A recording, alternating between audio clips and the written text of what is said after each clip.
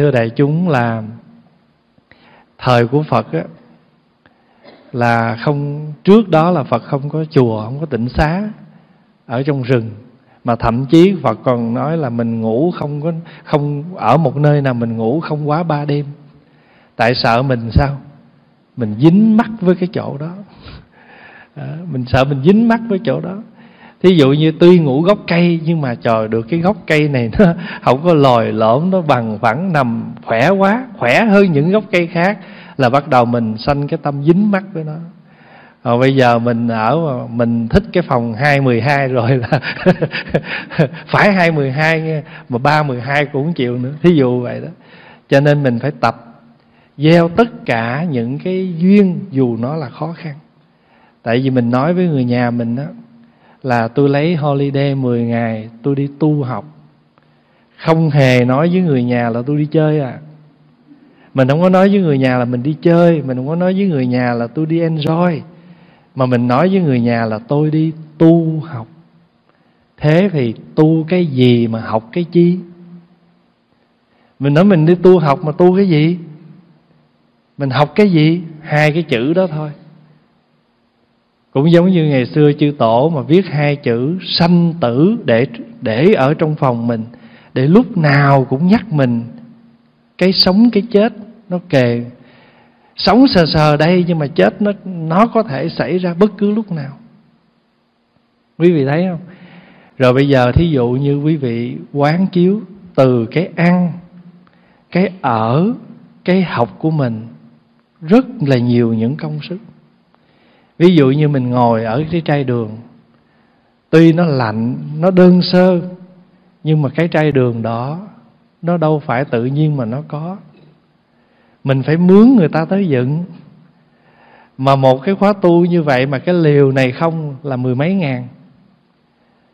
Pháp Hòa không phải và nói tiền, nhưng mà Pháp Hòa ở đây và muốn nói là mình nhìn để mình thấy mình, thôi, mình khắc phục được hết.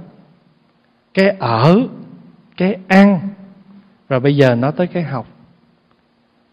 Quý vị thấy là quý hòa thượng, quý thượng tọa, quý đại đức, chư tăng ni, đặc biệt là quý ngài lớn tuổi, không quản ngại, già yếu, bệnh hoạn, đường xa về đây với mình. Và gần gũi nhất, đặc biệt nhất là thượng tọa giáo thọ của mình, thượng tọa thích minh quang ngài đang dạy khóa tu ở Cali rồi ngài bị té uh, dập uh, xương dập ba xương ráng ở trong bệnh viện điều trị cũng không có nghỉ, cũng qua đây với mình. Nhiêu đó thôi thì mình thấy rằng cái ơn mà mình nhận ở nơi quý ngài với những người đàn na tính thí với mình quá nhiều. Mình chỉ tuyên bố là mình tu học một cái thôi là bao nhiêu những cái duyên khác đến trợ cho mình. Những cái duyên khác trợ duyên cho mình mà mình không khắc phục được những cái duyên mà chút chút thì nó uổng quá. Pháp Hòa nói như vậy để cho đại chúng nhận được cái gì gọi là tu và cái gì gọi là học. Và nói gần gũi là quý vị ngồi thiền đó. Thiền không nhất thiết là mình phải kéo chân ngồi trên tọa cụ bồ đoàn hàng giờ. Nhưng mà chúng ta biết quán chiếu từng sự, từng việc để chúng ta thông tất cả. Thường thường á, người ta hay nói, quý ngài hay dạy mình, ngồi thiền không phải ngồi cái mông. Tức là phải ngồi không, mà thiền đây nữa. Không, mà nếu mình thiền được ở đây thì mình an lạc trong từng cái cái cái ngõ ngách của cuộc sống này bây giờ quý vị cứ nghĩ đi, vô đây mình chỉ tu thôi. Mà mình cũng chưa thoải, mình cũng chưa hạnh phúc. Thì nếu mình sống ngoài đời, mình hạnh phúc với ai? Ngoài đời người ta là bon chen, người ta giành giật. Ta đủ thứ hết. Mình vô đây, mình không có cái đó. Mình phải nhường. Mình phải nhịn cái đó gọi là tu. Và nếu như người nào mà dở, thì mình học. Học cái gì? Không phải học cái làm theo mà học là vĩnh viễn đừng làm cái dở đó. Học cái vĩnh viễn phải xin chừa cái đó. Nếu lỡ ai có dở, chứ mình không cười, không trách, không có nói tới nó lui gì hết, biết thôi. Bây giờ mình nói là mình đi xuất gia. Xuất gia có ba nghĩa, mà giờ mình nói một cái nghĩa thôi, đó là xuất phiền não. Nếu mà chỉ cần được một cái một nghĩa của nó thôi. Là mình đủ ăn suốt đời rồi. Cái gì mà làm mình khổ nhất chính là phiền não. Ví dụ như tôi à, tôi tôi nghe tôi nghe rằng ở chỗ đó, cái tấm y đó đang được ừ, cho mọi người thỉnh. Chạy tới cái y đó hết trơn. Trời ơi, thiệt chậm chân chút không được cái y đó. Vải loại đó, mai kiểu đó, thí dụ vậy đó. Trong lòng cứ phiền não hoài. Đâu ai chọc mình giận đâu. Cái gì mà làm mình bất an, trong lòng mình không còn bình thường nữa, nó đều là phiền não. Cái này Pháp Hòa hay ví dụ hoài đó. Không cần ai chọc mình giận. Chỉ cần mà cái tâm mình nó không còn bình an, bình thường nữa là phiền não rồi khóa tu nào, Pháp Hòa cũng gặp à, nhiều Phật tử mới. Và vị nào cũng bày tỏ rằng, trời ơi, tôi không ngờ là hôm nay tôi được tới đây. Đây là cái niềm mơ ước lâu năm, xem băng và biết khóa tu mười mấy năm mà năm nay mới được đi. Nếu mình thấy được cái đó, mình nói được cái điều đó, thì cố gắng sống cho thật hạnh phúc trong 10 ngày này. Ngày hôm qua, không biết là đại chúng có tụng cái bài sám ờ, bài sám nguyện lúc mình sám hối bằng cả trái tim của mình không? Nếu mà mình tụng cái bài đó bằng cả trái tim của mình thì mình có thể khóc được. Mình có thể khóc được, mình có thể cảm nhận được từng lời, từng chữ ở trong đó. Đệ tử biết trong tâm thức bao nhiêu hạt tốt lấp vùi, hạt giống thương yêu hiểu biết và bao hạt giống an vui nhưng vì chưa biết tưới tẩm hạt lành không mọc tốt tươi cứ để khổ đau tràn lấp làm cho đen tối cuộc đời. Quen lối bỏ hình bắt bóng. Đuổi theo hạnh phúc xa vời. Mình nói mình đi xuất gia gieo duyên, chứ đâu phải mình tới đây để mình có một cái holiday. Ở đây không phải là cái resort thì tất cả những cái gì mà nó khó mình bỏ qua được hết thì sao? Không có còn đuổi hình bắt bóng nữa. Những cái mà mình yêu cầu, cái nhu cầu mình đó là những cái đuổi hình bắt bóng, an trú hiện tại. Thiếu gì chút được hết, tại mình thực hiện đúng lời chư tổ dạy. Tam thường bất túc, cái ăn, cái mặc, cái ngủ của mình ba cái thiếu thiếu không sao. Thưa đại chúng, ngày hôm qua đó, quý sư cô và vài em phật tử ở trên chánh điện đây, xếp cái chánh điện này tới một giờ rưỡi sáng. Một giờ rưỡi pháp hòa lên đây, một lần nữa, rồi thầy trò lại tiếp tục dọn dẹp xung quanh thùng ốc cái gì gì, thêm tới hai giờ mấy rồi Pháp Hòa đi một vòng nữa, cái thấy rác chỗ này, rác chỗ kia, Pháp Hòa làm thêm vòng nữa cái tới ba giờ mấy. Bốn giờ rưỡi Pháp Hòa mới được ngã lưng chút. Mà hết chỗ rồi. Giờ Pháp Hòa nói, trời, đi tới lui. Có một thầy thầy nói, sao không đi ngủ đi, có chỗ không? Thiệt sự là không có chỗ. Mà Pháp Hòa nói dạ dạ thầy cứ ngủ đi, con có chỗ. Mà Pháp Hòa đi ra, đi vô hoài chờ tối nay ngủ đâu ta? cái Pháp Hòa mới nói, trời ơi, bình thường á, mênh mông chi địa, muốn nằm lăn đâu cũng được. Tối nay kiếm chỗ cắm dùi không ra. Rồi cuối cùng Pháp Hòa kiếm được chỗ hạnh phúc nhất là ở cái góc bàn tổ đây, phía sau có nằm được tiếng. Trưa hôm nay lẽ ra là giờ của thầy viện chủ. Rồi cái pháp hòa vô nhắc thầy thì nói, trời thầy mệt quá, thôi con lên đi. không lẽ mà nó con mệt hơn thầy. Thôi thì bây giờ mình làm gì? Im lặng mà nhận lời chứ biết làm sao. Rồi pháp hòa mới nói, ngồi xuống trước khi lên. Nói, trời ơi, biết nói gì đây? Thiệt sự là bây giờ không có in ấn gì được hết, tại vì cái printer không còn mực mà internet cũng không vô được, không làm gì được hết. Cho nên trước khi lên, pháp hòa mới lấy tờ giấy đại khái ghi ra vài điều những gì mình muốn chia sẻ. Đây là đột xuất.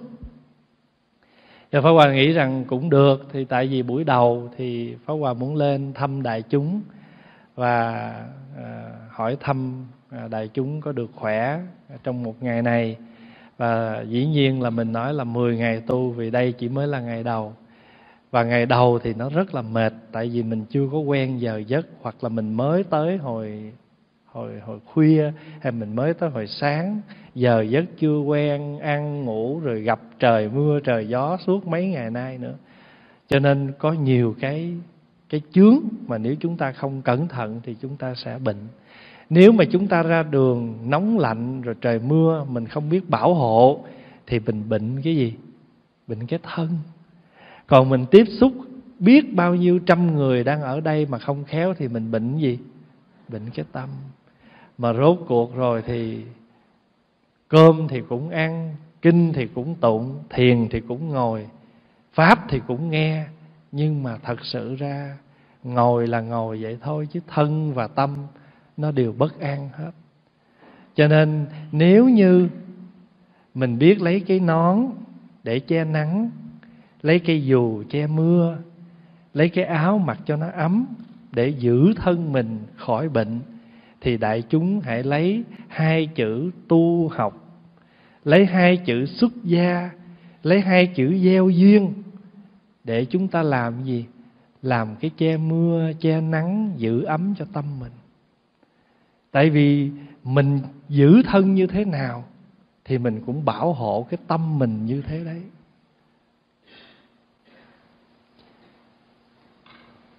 Có nhiều cái mình phải tu mà đặc biệt là cái thói quen của mình. Nhà phật gọi thói quen là tập khí. Ví dụ như mình có thói quen là ngủ khuya. Thức thì thức khuya, mà dậy thì dậy trễ. Nhưng mà ở đây á, mình vào trong chúng rồi á, thức khuya là chuyện của mình. Không? Nhưng mà dậy sớm là chuyện của đại chúng. nhưng mà đừng có sớm quá. Nhất là khi mình sống chung với chúng á. Mình biết phần mình nhưng cũng nhìn xung quanh. Trước khi mà mình mở đèn. Giờ này mấy giờ rồi? Thành thử ra thưa đại chúng là đại chúng nên à, giữ sự yên lặng trong khi chúng ta ngủ nghỉ. Và đặc biệt là nếu chúng ta có thức sớm thì chúng ta cũng đừng cố gắng đừng làm ồn à, để cho cái không khí nó được yên tĩnh. Và đặc biệt là buổi sáng khi quý vị nếu hôm nào mà trời không có mưa thì trời rất là đẹp mây rất là đẹp nắng hồng lên rất là đẹp. Quý vị có thể đi thiền hành từ ở quan âm đài đi ra trai đường đi qua chánh điện vân vân từng bước chân an lạc. Tại vì khi mình trở về sau 10 ngày rồi, mình muốn tìm những bước chân ở một cái chỗ sự yên tĩnh này không có. Cho nên đặc biệt là những vị ở xa. Sở dĩ Pháp Hòa nói như vậy là để cho tất cả chúng ta nhận thức. Cái thời gian nó mau lắm. Quý vị thấy vậy chứ thoáng thoáng là hết 10 ngày mà như là bao nhiêu năm trước lúc nào đầu khóa tu cũng nhắc, chúng ta trân trọng, đừng lãng phí từng ngày, từng giây, từng phút mà chúng ta có.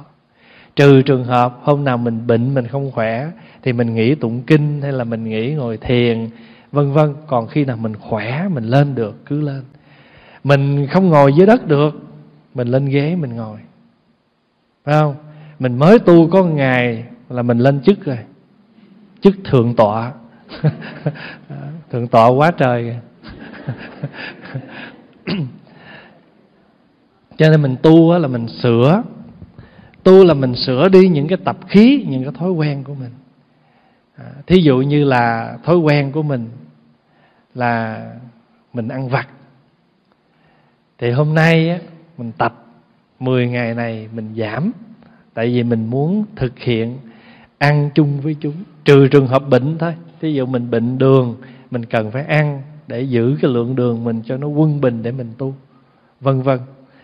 Cho nên nếu như mình khởi một cái chút gì phiền, thì mình lập tức mình buông bỏ, để chúng ta thực hiện được đúng cái nghĩa của chữ xuất gia là xuất phiền não gia.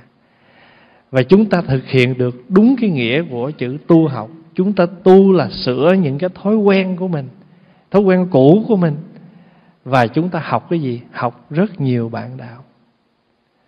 Nếu mà đại chúng để ý là quý vị sẽ thấy xung quanh mình thầy mình nhiều lắm. Người ta hồi đó, người xưa ta nói là ba người đi chung là thế nào cũng có một người là thầy mình mà. Phải không? Thành thử ra, mình học những cái đó. Có hai thứ mình cần phải thay đổi. Một là thay đổi bản thân hai là mình phải thay đổi nhận thức. Bản thân của mình á, hồi xưa mình sống mình đi theo cái tập khí, cái nghiệp, cái phiền não của mình. Đa số là chúng ta đời sống hàng ngày là chúng ta sống theo cái phiền não, sống theo cái nghiệp của mình. Ưng chi làm nấy. Phải không? Đa số là vậy. Ưng gì làm nấy à? Đó. thành thử ra mình vô trong này thì mình thay đổi bản thân. Mình đừng có nói là tôi như vậy đó tánh tôi như vậy đó. Nếu mà tánh mình vậy đó thì làm sao mình làm một sư cô được?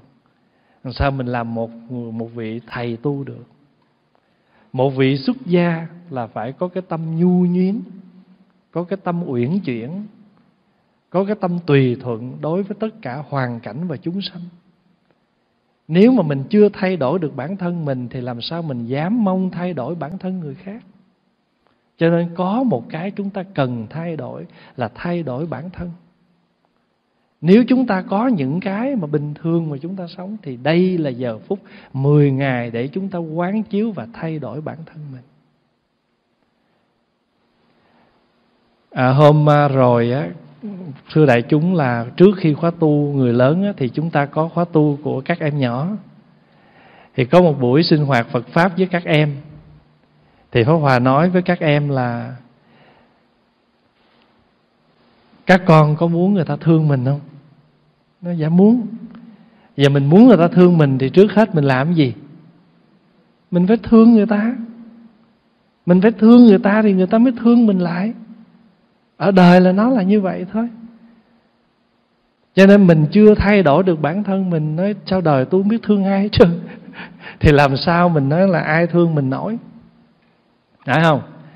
Cho nên thay đổi bản thân. Bản thân mình còn nhiều thứ để thay đổi lắm. Pháp Hòa mình nói đây là cái gần gũi nhất. Cái gần gũi nhất là cái ăn, cái mặc, cái ngủ, cái những cái bình thường của mình. Những cái bình thường mà chúng ta như vậy. Thật sự ra cuộc sống chúng ta hàng ngày, quý vị thấy từ sáng tới chiều chúng ta lo gì đâu không à. Nếu mà nói cho đúng á à, quý vị thấy từ sáng tới chiều nè. Sáng ra cái lo ăn ăn sáng. Không? Rồi đi làm làm để làm gì? Kiếm tiền. À, rồi, rồi rồi làm hồi cái ăn trưa.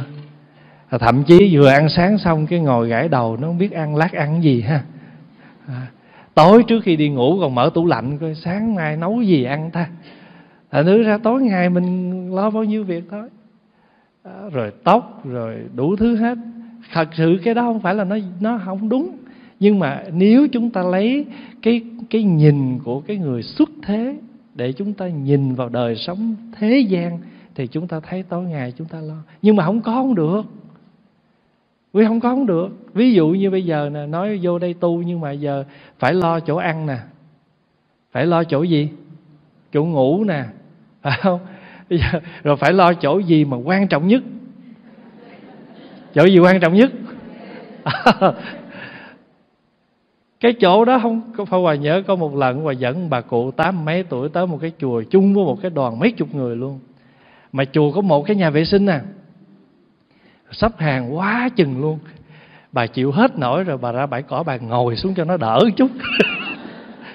Cái pháp hòa đi ngang và thăm bà, cái bà nói, bà lúc đó bà bà gồng riết, bà chịu hết nổi rồi.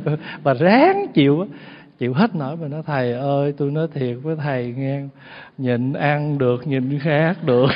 Và nhìn cái này nhìn không có được. Cho nên nội cái chuyện đó là phải lo. Mà quý vị biết không, trước đây, trước khi tháng năm mà vô rồi tháng năm vô thôi là tội nghiệp các anh phật tử ngày đêm ở trên này. Cuối tuần là không biết mặt vợ con là ai hết mỗi đi làm một tuần năm ngày.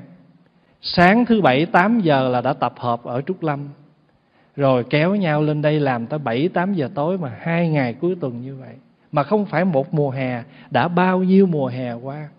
Các anh không có holiday với gia đình. Lên đây lo cắt cỏ, lo dọn dẹp, lo làm cái này, làm cái đó đủ thứ hết. Quý vị thấy, bây giờ quý vị đến vậy đó, chứ mà sau một mùa đông rồi đó là nó đủ thứ rác rồi đủ thứ hết. Nội cắt cỏ cắt khúm này khúm kia nó mọc. À, quý vị thấy không? Pháp Hòa nói như vậy không phải là để nói công lao không có không có đại bác gì hết trơn á. Nhưng mà nói để cho chúng ta thấy rằng mỗi ngày mở mắt ra là chúng thấy chúng ta thấy tràn đầy những cái ơn. Và chính chúng ta thấy cái ơn như vậy đó cho nên chúng ta sống và chúng ta làm hạnh phúc lắm. Hồi nãy đại chúng ăn cơm xong đi thiền hành xong quý vị ra về thì pháp hòa ở lại dọn dẹp với thầy tịnh tạng. Hai thầy trò dọn chánh điện. Thầy đang ngồi thầy uh, xếp gì đó pháp hòa quên ở phía sau nè. Cái hòa ngồi phía sau thầy đức tạng thầy quý vị nhớ thầy đức tạng không? To bự cái lưng của thầy qua nằm hai người cũng hết cái pháp hòa ngồi phía sau lưng, thầy đức tạng hòa ngã cái đầu vô và nói, con ơi, thầy đuối như trái chuối này. Nhưng mà nói vậy sợ thầy hiểu tiếng việt chưa rành nữa mà con có biết trái chuối là gì không?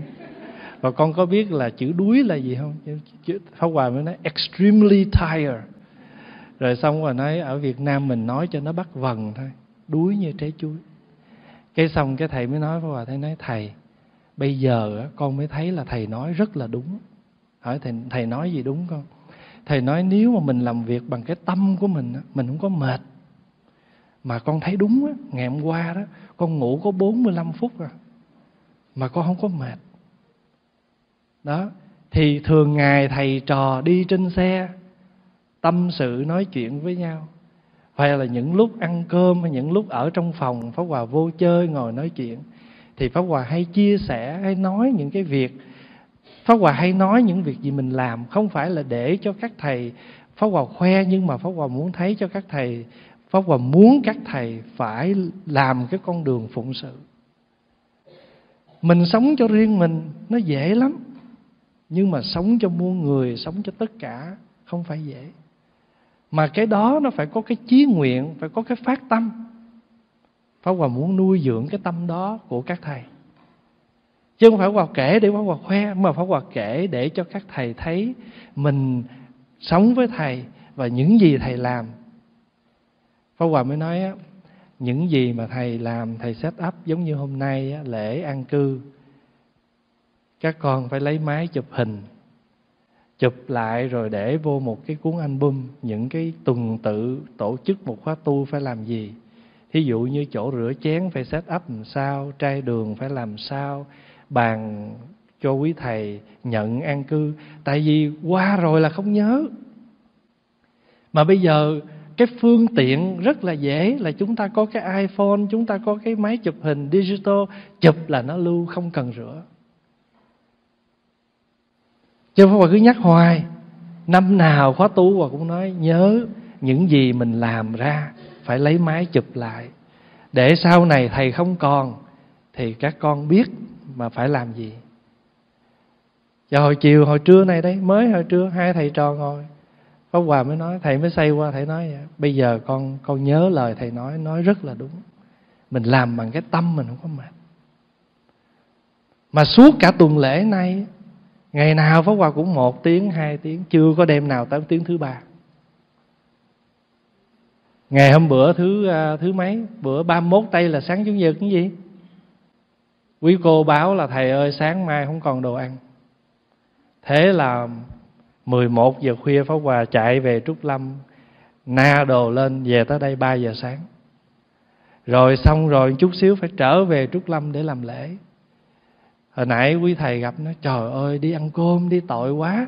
Mà nói dạ không, quý thầy vui là mình vui. Tại vì cái, có một em nọ nó lên nó tu nhưng mà cái đầu của em nghĩ rằng á, mình tu là mình phải không có được bận rộn như vậy. Mình tu là mình phải thảnh thơi, mình chỉ hít thở, mỉm cười, mình chỉ đi vô, đi ra, rồi mình ngồi thiền, mình phải học kinh vậy thôi. Phá hòa nói, ở trong trong phật giáo á, có một bồ tát tên là địa tạng. Ông không có chịu ở trên, ông ở dưới ở dưới đất ở chỗ tối tâm có một bồ tát tên là trì địa cái việc làm của ông là chỗ nào hư đường, hư xá thì ông đến đó, ông lo, ông lắp ông làm cho nó tốt lại. Cho nên phật giáo là rất nhiều hạnh để mà làm. Cho nên khi mình thấy xung quanh mình quá nhiều hạnh, thưa đại chúng, ở trong khóa tu này có hai vị thiên chúa thiên chúa giáo. Tình nguyện đến đây không có tu, chỉ để phục vụ đại chúng thôi mà quý vị đâu có nói cho mình biết họ là ai không? Không. Tại vì họ là kim cang mật tích. Họ là những vị kình sơn trì sử. Kình sơn là ôm bưng cả cái núi, tức là làm những cái việc rất lớn và thậm chí làm những việc rất nhỏ. Nhưng mà ở đâu? Họ ở đâu? Cái câu kế là gì? Biến hư không giới đầy dãy hết. Quý vị bước xuống tới trời vô cái phòng hay là xuống tới trai đường hay ở dưới cho thì cư xá trúc mây là quý vị có cái chỗ nằm nghỉ mà quý vị đâu biết. Trước đó mấy ngày ai đã đến đây hút bụi trải giường vân vân. Pháp Hòa nói như vậy là để chúng ta thấy rằng mỗi ngày chúng ta mở mắt ra, mỗi bước chân của mình, mỗi hạt cơm của mình đầy ơn ở trong đó hết. Thế thì chúng ta còn gì nữa mà không hạnh phúc? Còn gì nữa mà chúng ta không sống trọn vẹn với những gì mà chúng ta đang có? Hồi xưa Phật phải đi lượm từng miếng vải, đắp lại thành cái y bây giờ mình có một văn phòng tới thử y nữa may là chưa có dài thử hài nữa thay đổi bản thân cái thay đổi thứ hai là thay đổi nhận thức. Có nhiều khi mình nghe, chưa bao giờ mình nghe tới tây, mình chỉ nghe tây thiên mình chưa thấy. Nghe băng giảng, trời ơi, khóa tu vui quá. Được nha, bắt đầu sách vở tới. Sách vở tới bắt đầu thất vọng tràn trề. Thứ nhất là gì? Đường xa thâm thẳm. Thứ hai là xung quanh không bóng người. Thứ ba là gì nữa? Không có tiện lợi gì hết. Tôi tưởng tôi ở chung một cái building lên này cái chánh điện xuống kia phòng ngủ tới nọ phòng ăn. Ai ngờ đã bắt đi cả đường cả ngày. Nhận thức. Có những cái nhận thức không có lúc nào nó cũng đúng đâu. Nhiều khi sờ sờ trước mặt đây mà mình nhiều khi mình nói nó còn chưa chưa đúng nữa. Để qua kể chuyện quý vị nghe chuyện này mới xảy ra trong cái khóa tu mấy đứa nhỏ thì cái bữa đó là còn ngày nữa là hết khóa tu của các em nhỏ rồi thì năm nay khóa tu chia làm ba khóa Khóa thứ nhất là các em tuổi từ à, 12 tuổi cho đến 17. Khóa thứ hai là từ 7 tới 12. Rồi khóa thứ ba là từ 18 tuổi trở lên. Thì nhờ chia như vậy cho nên cái lượng các em nó chia, nó ít lại. Tại vì hồi xưa mình dồn thì cái, nó cả trăm. Bây giờ thì mình chia nó ra thì cái khóa người lớn này ít lại. Cái bữa nọ pháp hòa trước cái ngày khóa tu à, kết thúc cái, pháp hòa có cái buổi lễ quy y cho phật tử. Đắp y lên trên này rồi, chuẩn bị làm lễ quy y, cái con cô phật tử của chạy lên của hớn hả? Thầy thầy thầy thầy. Ở dưới cái phòng lầu dãy số 3 đó, có hai đứa con trai con gái nó ôm nhau ngủ trong á trời đất ơi pháp hòa nghe xong rồi tim pháp hòa nó đập thình thịch thình thịch. Pháp hòa mới nói how can it be? Là sao có chuyện này xảy ra? Mà mình đi, trên đường mình đi xuống mình đi cũng khoan thai nhưng mà trong lòng bắt đầu nó đánh lô tô. Trời ơi nếu mình mở cửa ra mà thiệt cặp này nằm trong đó mình nói gì đây? Lúc này phải thiệt là biết nói gì đây đó. à, thì thưa đại chúng là khi pháp hòa pháp hòa suy nghĩ nếu mình gặp nó mình phải giải quyết như thế nào? Từ ở ở cái cái chánh điện này bước xuống đó có mấy bước mà trong lòng mình đầy những cái lo toan. Khi đi xuống tới đó pháp hòa mở cửa ra thì trong đó thường mỗi phòng có hai bốn cái giường phải không? Ở dưới này hai. Thì có ba thằng con trai nó ngóc đầu dậy nó ngó pháp hòa. Tụi nó ăn sáng xong rồi nó dọn dẹp phòng ốc xong rồi. Nó vô trong đó nó nằm chơi với nhau. Rồi cuối cùng nó buồn ngủ, mỗi đứa nó co, nó ngủ. Mà trong đó có một thằng, nó uống tóc dài dài vậy nè. Mà lúc mà cổ mở cửa ra, cổ ngóc đầu dậy, cổ thấy cái tóc quăng. Thì cổ nghĩ là một con nhỏ cổ lên cổ chạy cổ nói, thầy ơi, thầy có hai thằng con trai với đứa con gái, nó ôm nhau, nó ngủ ở dưới đó. Cái thì cổ nói, bà cổ không đi theo mình, để bắt quả tang. Thì pháp hòa mới ra, pháp hòa gặp cổ và nói chú ơi, nói gì đâu không à. Đó thì à, nhưng mà pháp hòa suy nghĩ, khi pháp hòa kể xong rồi pháp hòa mới suy nghĩ, cũng tốt cũng may là cổ nói ra. Chứ nếu cổ nín thinh, cổ không nói, mà cổ đi đồn, cổ khiều cổ nói, bà biết cái gì không? Khóa tu vừa rồi, hai đứa nó ôm nhau, nó ngủ. Mà ông thầy không biết gì hết. Cái đó chết lớn nữa. Thôi đó giờ cổ nói, mà mình đi xuống mình kiểm tra. Phải không? Mà khi mình kiểm tra, mình xác định rằng all boys. Thì nó đỡ quá cho nên thưa đại chúng là đó. Trước mặt mình xuất hiện, nhưng mà đôi khi mình còn nhận thức còn chưa được. Thì làm sao mà mình thấy những cái gì nó xảy ra mà mình lấy cái nhận thức bình thường? Cái gì mà có cái thức trong đó là có cái phân biệt, có cái dính mắc?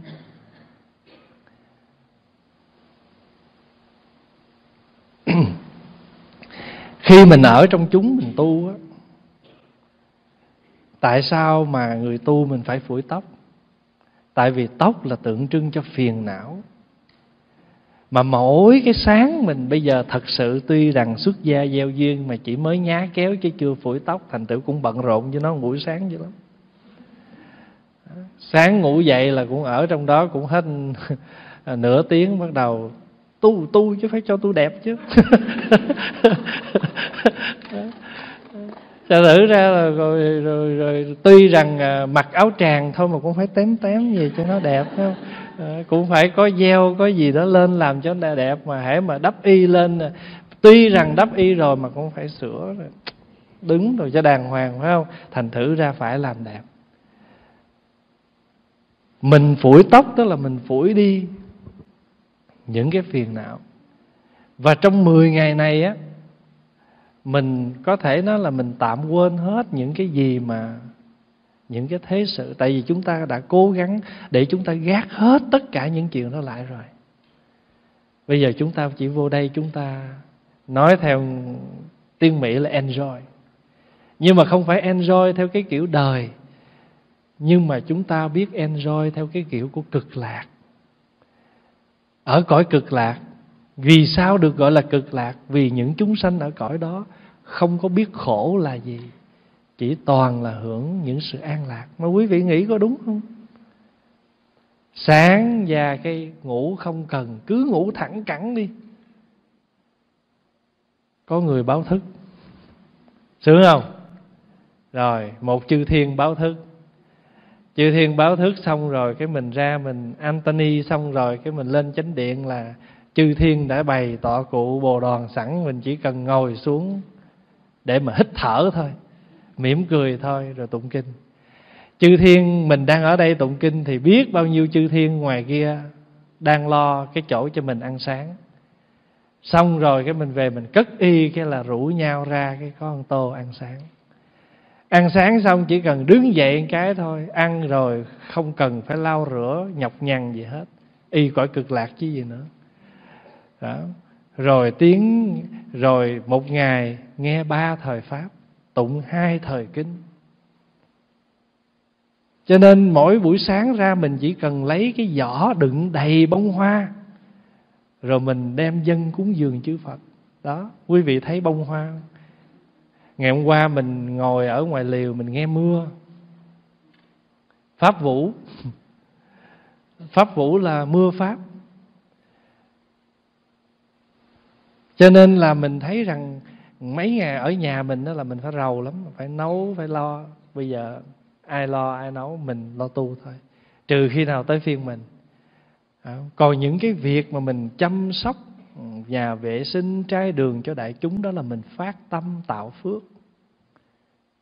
Phát tâm tạo phước, phát tâm cúng dường cho đại chúng. Mình không có gì cúng dường hết, xin cúng dường cái công quả của mình mình công phu tu tập, tụng kinh, bái sám, hồi hướng công đức cho đại chúng rồi. Đồng thời cũng phát tâm làm việc. Trừ những bác lớn tuổi, những vị lớn tuổi, sức khỏe không có, miễn. Nhưng mình có sức khỏe làm. Đóng góp ngày cũng được, hai ngày cũng được. Vì mình dùng chứ ai đâu. Mình có dùng thì mình có để công vô đó, mình tu sửa. Ở trong cái bài bạch an cư hồi sáng này của quý thầy, quý cô có một câu đại đức nhất tâm niệm, hôm nay con tỳ kheo gì đó nương vào chùa Tây Thiên để an cư trong 10 ngày. Nếu phòng xá có hư hoại sẽ tu bổ. Guarantee với cái vị vị mà ngồi nhận cái sự an cư, tờ an cư của mình đó. cho nên mỗi mỗi mình thấy là đều có sự chăm sóc. Và khi mình thấy như vậy rồi là mình đọc năm lời quán nguyện đó một cách hạnh phúc. Đọc rồi mình mới thấy rằng những lời quán nguyện đó toàn là những lời hướng dẫn cho mình trong cái sự tu tập, hướng tâm của mình đến cái nẻo thiện. Cho nên mình đang đi trên cái con đường của các bậc giác ngộ đã đi. Hôm nay là mình đang làm những cái người gì? Đang cái người nghịch lưu nghịch lưu tức là đi ngược dòng. À, người ta đi làm cực khổ, lấy holiday 10 ngày, hai tuần đi chơi. Mình không có đi chơi đó, đi chơi đó, đi chơi nhiều rồi. Giờ đi chơi chỗ này. Và chúng ta được gặp toàn là những bậc thiện nhân cao đức. Ở trong kinh di đà nói đó, toàn là những bậc à, thiện hữu tri thức, thiện nhân cao đức của mình. Tại vì những người này đồng một hướng tu với mình hết quý thầy rất là hạnh phúc, rất là vui, tại vì lâu lắm mới được gặp nhau, ở trong một cái đạo tràng như thế này. Có những thầy pháp hòa quen, cả chục năm mới được gặp. Giống như à, hòa thượng à, hòa thượng à, hòa thượng thượng minh hạ lý và thượng minh lý ở chùa khánh quang ba chục năm rồi pháp hòa mới được gặp lại hòa thượng hồi nhỏ lúc ở cần thơ và đi đi sinh hoạt, đi đi công quả chùa khánh quang, lúc đó hòa thượng khai sơn còn, thì hòa thượng ở trong đó. Thì lúc nhỏ chỉ gọi là hòa thầy lý thôi. Một năm về trước Pháp Hòa đi à, sinh hoạt Phật sự ở New Jersey. Hòa thượng cũng Phật sự ở vùng đó. Ngài nghe Pháp Hòa ở đó. Ngài không có nhớ, Nhưng mà Ngài nghe Pháp Hòa, Ngài mới đến Ngài thăm. Pháp Hòa nghe Ngài đến mừng quá Ra chào Ngài và Pháp Hòa thưa với Ngài là Hồi nhỏ con ở Khánh Quang. Tại ở Cần Thơ có cái cái cái cái cái, cái vùng Cái đường à, à, Đại lộ Hòa Bình. Chùa Phật học chùa Khánh Quang tịnh độ cư sĩ gì nó vòng vòng vòng đó. Mà hồi nhỏ là Pháp Hòa cứ vòng vòng mấy cái chùa đó đó. Hết qua chùa tịnh độ cư sĩ à, phơi thuốc thì qua sáng thì qua hầu hòa thượng chùa Phật học xong rồi qua tụng kinh chùa Khánh Quang qua bán đồ chay ở chùa Bảo An. Vòng vòng rồi đó. Hồi nhỏ đó, lúc đó qua chừng à, 8 tuổi 9 tuổi gì thôi. Rồi bây giờ Pháp Hòa được gặp là Hòa Thượng Rồi năm rồi Hòa Thượng nói tôi muốn qua Canada ăn kiếm thì pháp hòa nói dạ. Thì à, hòa thượng à, muốn qua thì mình thỉnh ngài qua. Và hôm nay ngài có mặt với chúng ta trong cái khóa tu học này cho nên mình tạm thời mình lãng quên những cái đau thương, những cái buồn phiền của mình trong những ngày trước để chúng ta tu. Và chúng ta gieo cái duyên này. Và chúng ta nguyện rằng nếu mà mình, trong 10 ngày này mình có thời gian mình tĩnh lặng xuống để mình thấy rằng à đây là những cái mình cần buông bỏ. Ngày hôm qua đi về trúc lâm, cúng xong thì trước khi ra cửa thì có anh chị phật tử dẫn đứa con vô khóc. Thì pháp hòa cũng phải nán ở lại để an ủi chị một chút. À, chị mới à, gần như là hát cái bài mà thầy ơi, người ta đã bỏ con rồi, thầy ơi vậy đó. Pháp hòa mới nói cái đó đâu có gì buồn đó là hết nợ. Chị không nhớ là chị đã từng tâm sự với pháp hòa bao nhiêu năm qua. Chị sống trong đau khổ, sống trong chịu đựng, trong uất ức, trong đủ thứ hết thì bây giờ người ta đã quyết định người ta tha cho mình thì được mình được tự do chứ có gì đâu khổ, có gì đâu buồn. Phải không? Thành tử ra nếu mà mình, nếu mà người ta gọi là cái gì đó, ở ngoài đời người ta hay kêu là bị bỏ rơi á, phải không? Hay là bị ruồng bỏ hay bị bỏ rơi, đó không phải bị bỏ rơi. Cái đó là ta cho mình sự giải thoát. Chứ bỏ rơi cái gì? Mà nếu mà có rơi mà mình rơi, bây giờ không rơi đâu nữa, mà mình rơi vô chùa thì là tốt chứ có sao đâu. Chị mới nói à nghe thầy nói cũng có lý ha. À, thành thử ra, thật sự ra những cái đó nhiều khi chúng ta đã có sẵn rồi nhưng mà không ai khai mở, không ai điểm cái đó cho mình. Vậy chỉ cần điểm thêm cái nữa có nó đẹp. Giống như là người ta vẽ một cái bức tranh vậy đó thật sự ra nhiều khi bức tranh nó chỉ thiếu con nét quẹt lên nữa thôi, làm cho cái cọng cỏ chỗ đó nó xanh lên là bức tranh nó đẹp. Thì bây giờ cũng vậy đó. Có nhiều khi cuộc sống của mình nó đã được vậy rồi, giờ thêm điểm nữa cái là nó đẹp. Thì quý vị cứ nhớ, thí dụ hôm nay mình nhịn được ba ngày rồi, trời tức quá, cái cái người đó cứ nói hoài thì cứ nhớ là mình nhịn thêm bữa nữa cái nó điểm lên, bức tranh nó thêm điểm vậy đó mà quý vị phải tin một điều là mình có tu là có chuyển. Chuyển từ mình cho đến chuyển người thân. Ở đây có nhiều vị đã có kinh nghiệm cái đó. Mà khi mình chuyển được bản thân mình rồi, tự nhiên người xung quanh mình họ sẽ chuyển. Tại sao? Tại vì cái đức tu của mình, cái công phu tu tập của mình nhất định nó phải có kết quả. Chứ nếu không thì phật biểu mình tu để làm gì? Và thưa đại chúng đại chúng nhớ là mình theo phật không phải là bởi vì phật phù hộ cho mình. Mà mình theo phật là bởi vì phật chỉ cho mình cái cách làm sao để mình chuyển hóa cái đau khổ. Và đó là mục đích của đạo phật. Mục đích của đạo phật là giúp cho con người giải những cái khổ trong đời sống hàng ngày. Người ta có thể khổ vì ăn, vì mặc, vì ở, vì danh, vì lợi đủ thứ hết. Nhưng mà người phật tử chúng ta có tất cả những cái đó, nhưng mà nó không làm khổ mình được. Tại vì cuộc sống chúng ta đi theo cái cái dòng đó, nhưng mà nếu mà nó có cái gì nó bất trắc thì chúng ta hiểu là cái đó không phải là cái vấn đề. Mà nếu mà nó là vấn đề thì cũng là chuyện thường thôi. Quý vị nhớ năm ngoái mình có nói một câu không? Buồn rồi nào cũng qua cái gì mà đến ở với mình mỗi ngày? Buồn ngủ. Buồn nào rồi cũng qua. Chỉ có buồn ngủ đến mỗi ngày mà nãy giờ thấy buồn dữ lắm rồi đó. Nãy giờ phải Hòa thấy quý vị buồn dữ lắm rồi đó. Thôi quý vị buồn thì em nghỉ à, thưa đại chúng thì đùa vậy thôi chứ cũng đã à, hết giờ thì hôm nay là buổi à, đầu tiên không phải là một buổi à, giảng kinh nói pháp gì chỉ là ra thăm và đại chúng và cũng như theo lệ mỗi năm. Tại vì lúc nào mình cũng có những người mới vào. Thì những người mới vào thì nhất định sẽ có những cái chưa quen. Phải không? Thì pháp hòa có à, lời thăm hỏi đến tất cả quý vị cũng như là mong tất cả quý vị à, thông cảm cho cái hoàn cảnh à, còn sơ sài của tây thiên. Và quý vị hoan hỷ cho tất cả những gì mà ban tổ chức à, thiếu sót và cố gắng à, làm hết sức của mình trong cái khả năng của mình. Thì mong đại chúng thông cảm và hoan hỷ. Và cái quan trọng là chúng ta luôn luôn thấy rằng mình đang làm mấy chữ xuất gia, là gì nữa? Gieo duyên và tu học. Thì khi nào cái việc gì nó phiền não nó đến thì mình nói là mình đang xuất gia. Thí dụ lỡ mình thô, ồ, mình đang xuất gia. Lỡ mình nổi phiền não lên, ồ, mình đang xuất gia, tại vì xuất phiền não gia. Không? Sao chị không nghe lời tôi? Nói, ồ, mình chưa thay đổi mình, sao mình bắt người khác theo? Tôi biểu chị đi nghe này mà sao chị đi nghe nọ? Tôi biểu chị ngồi gần tôi mà sao chị ngồi với bà kia? Tôi biểu chị ngủ gần tôi mà sao chị không nghe về chị than?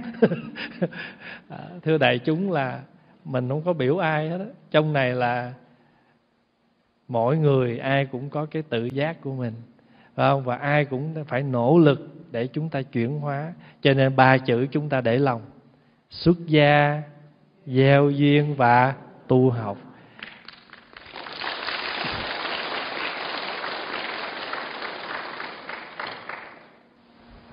Kính chúc đại chúng à, còn 9 ngày còn lại. Nghe dài quá ha nhưng mà không có dài đâu. Mau lắm. Thành thử ra quý vị cứ nhớ là mình đã để biết bao nhiêu. Công sức thời gian đủ thứ hết mới được về trong này đây.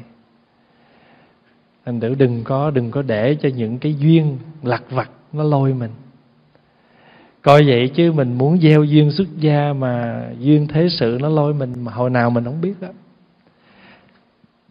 cái duyên tập khí nó cuốn mình hồi nào mình không hay. Cái duyên phiền não nó trôi mình hồi nào mình chẳng bao giờ biết. Tại vì mình để cho cái tập khí nó lôi kéo mình. Cho nên từng giây, từng phút quán chiếu bản thân. Quán chiếu tất cả những cái tâm hành của mình khi nó hiện khởi. À, có một lần Pháp Hòa nói với à, quý Phật tử là mỗi người chúng ta, ai đi ra thì cũng phải nhìn cái kiến một cái để bảo đảm rằng mặt của mình sạch sẽ. Thì cũng như vậy, mỗi người chúng ta có một cái kiến soi tâm. Và để coi chúng ta hôm nay chúng ta đã sống như thế nào, đã tu tập như thế nào và ở đất tây thiên này, hay là nói chung chung là đi đâu, hễ mưa thì chúng ta kiếm đồ che. Mưa mình cũng sợ, nắng mình cũng sợ, lạnh mình cũng sợ, cho nên mình mới, nắng thì mình che nắng, mưa thì mình che mưa, lạnh thì mình mặc áo ấm, mà nực quá thì mình làm gì? Quạt. Là tới lúc nào mình có tím một chiêu để mà mình giải quyết những cái mình đang khó chịu. Đó là để mình làm dễ chịu cái thân. Nóng quá cái thân chịu không được, phải quạt lạnh quá cái thân chịu không được, phải mặc ấm. Mà quý vị cứ thấy, thí dụ lúc mà mình lạnh quá, kiếm cái nón trùm lên, kiếm áo lạnh mặc vào. Nhưng mà tới hồi nóng rồi, áo lạnh everywhere. Nón everywhere, là không được lúc mình cần nó, mình đi kiếm nó, mà lúc mình không cần nó, mình bỏ nó đâu có được. Đó. cho nên mình, nếu mình để tâm mình được chánh niệm cái chuyện gì đó. Cho quý vị thử chánh niệm nè, khi mình đi ăn cơm đó, sắp hàng đi vào lấy cơm giữ im lặng nè. Vào ghế ngồi giữ im lặng, chờ tất cả mọi người tới chánh niệm im lặng. Ăn cơm xong rồi đợi chư tôn đức lần lượt đi ra rồi mình nói đuôi đi theo nói đuôi tức là cái người cuối, nhưng mà khi ra là ra trước. Không? Rồi, đi tuần tự như vậy, cái hình ảnh nó đẹp. Mình đây đâu có thấm béo gì với những cái trung tâm lớn như là ở Phật Quang Sơn, ở bên Đài Loan. Quý vị biết là cái trai đường Phật Quang Sơn ngồi mấy ngàn người mà ăn cơm không một tiếng ồn. Ra vào không một tiếng ồn. Người ta ngăn nắp trật tự vô cùng thí dụ mình đi ra thì mình nghe giảng hay tụng kinh xong cũng vậy. Nên đi ra theo từng hàng, từng lối cho nó ngay ngắn, cho nó đẹp. Rồi thí dụ mình mình, lúc mình đứng dậy đó không? Lúc mình vừa nhõng người mình dậy nhó người mình dậy, lấy hai cái tay dỗ cái bộ đòn lại. Để làm chi? Để nó không để lại dấu ấn. Tại vì cái bồ đòn này nó làm bằng à, cái hột ờ, lúa đó, cái vỏ lúa đó, cho mình ngồi nó thụng, phải không? Mà mình đứng dậy mà mình quên cái lát lại thấy nó thiếu cái trang nghiêm tế nhị. Cho nên khi mình vừa nhón người vậy thì hai cái tay đưa ra làm sao dỗ cái cái cái gối lại. Mà dỗ nhẹ nhẹ thôi chứ không để quý vị thấy là nếu mà mình có chánh niệm thì nó từng chút từng chút như vậy đi lên chánh điện để đôi dép cho ngay. Hay là nếu còn kệ để dép để lên cho ngay. Đi vào mình đi lòn hai, đi vòng hai bên, đi từng tự đi vào. Mình đang gieo duyên cái oai nghi, cái tế hạnh của người tu mà. Đắp cái y lên rồi là lúc nào hai tay mình cũng ở trước ngực này để biểu tượng. Thứ nhất là y phục, pháp phục trang nghiêm, đi đứng khoan thai và hai cái tay như vậy tượng trưng cho sự khiêm cung cung kính, cung thủ mà, cung thủ. Rồi quý vị thấy đó, trời ơi ờ, sao mà hình thức vậy? Không, mình đang gieo duyên. Người tu đi như vậy, bây giờ mình đang gieo duyên với tu như vậy. Người tu ăn như vậy là mình cũng ăn như vậy. Người xuất gia phải sống như vậy. Thì bây giờ nếu mình không gieo này rồi mai mốt lỡ mà mình đây là lỡ nha. Đi thiệt rồi cái là mình không có bỡ ngỡ. Biết hết đắp y cũng biết tụng kinh cũng biết làm những việc của người xuất gia mình biết. Nó thôi thì ờ, pháp hòa có vài lời thăm đại chúng và chia sẻ với quý vị. Mong tất cả đại chúng à, cố gắng à, giữ gìn sức khỏe trong những ngày này. À, vì à, ở đây à, mưa gió bất thường À, trời tiết à, thời tiết thì nó lạnh cho nên mong đại chúng à, giữ thân cho tốt và giữ tâm cho tốt để chúng ta trọn vẹn cái khóa tu xuất gia gieo duyên này để khi trở về thì chúng ta luôn luôn còn cái gì đó như là những hạt kim cương, những hạt châu báu mà chúng ta sẽ sàng lọc trong 10 ngày này. Nam mô Bổn sư Thích Ca Mâu Ni Phật. Để cho cái niềm vui đó nó có mặt và nó nuôi dưỡng mình, nó liên tục với mình. Và thậm chí có những cái điều mà không vui nó xảy đến và tại vì trong lòng mình có nhiều cái niềm vui cho nên mình ôm ấp được nó mình ôm ấp được nó và mình thấy rằng ôi chuyện nhỏ còn nếu mà hàng ngày mình cứ sống và mình cứ quan trọng quá bất cứ việc gì thì, và mình phiền não nhiều quá thì lâu ngày nó dồn dập lại. Và mình trở thành một người dễ cấu kỉnh, dễ gắt gao. Thậm chí người ta hỏi một câu rất đơn giản, nhưng ta chung, nhưng chúng ta vẫn dễ khởi nóng. Là tại vì mỗi ngày chúng ta cứ chú tâm vào những cái công việc nhỏ nhất đó, và chúng ta biến mình thành trở người, trở thành một người gai góc lúc nào mình không hay và trong kinh á, Đức Phật gọi á, cái người mà cứ hay khởi những cái phiền giận mỗi ngày chút chút chút chút vậy đó và nó trở thành ra một chướng ngại cho mình thì cái đó gọi là phiền não chướng. Còn nếu như mình nhìn lại mình nhìn lại và mình thấy rằng á mình tu tập mình đi từ kể từ khi mình biết đi chùa mình đọc kinh mình nghe pháp thì mình bắt đầu có sự bớt phiền giận. Mình không có còn như ngày xưa nữa. Thì cái trường hợp mà mình được như vậy đó là bắt đầu mình có cái niềm vui.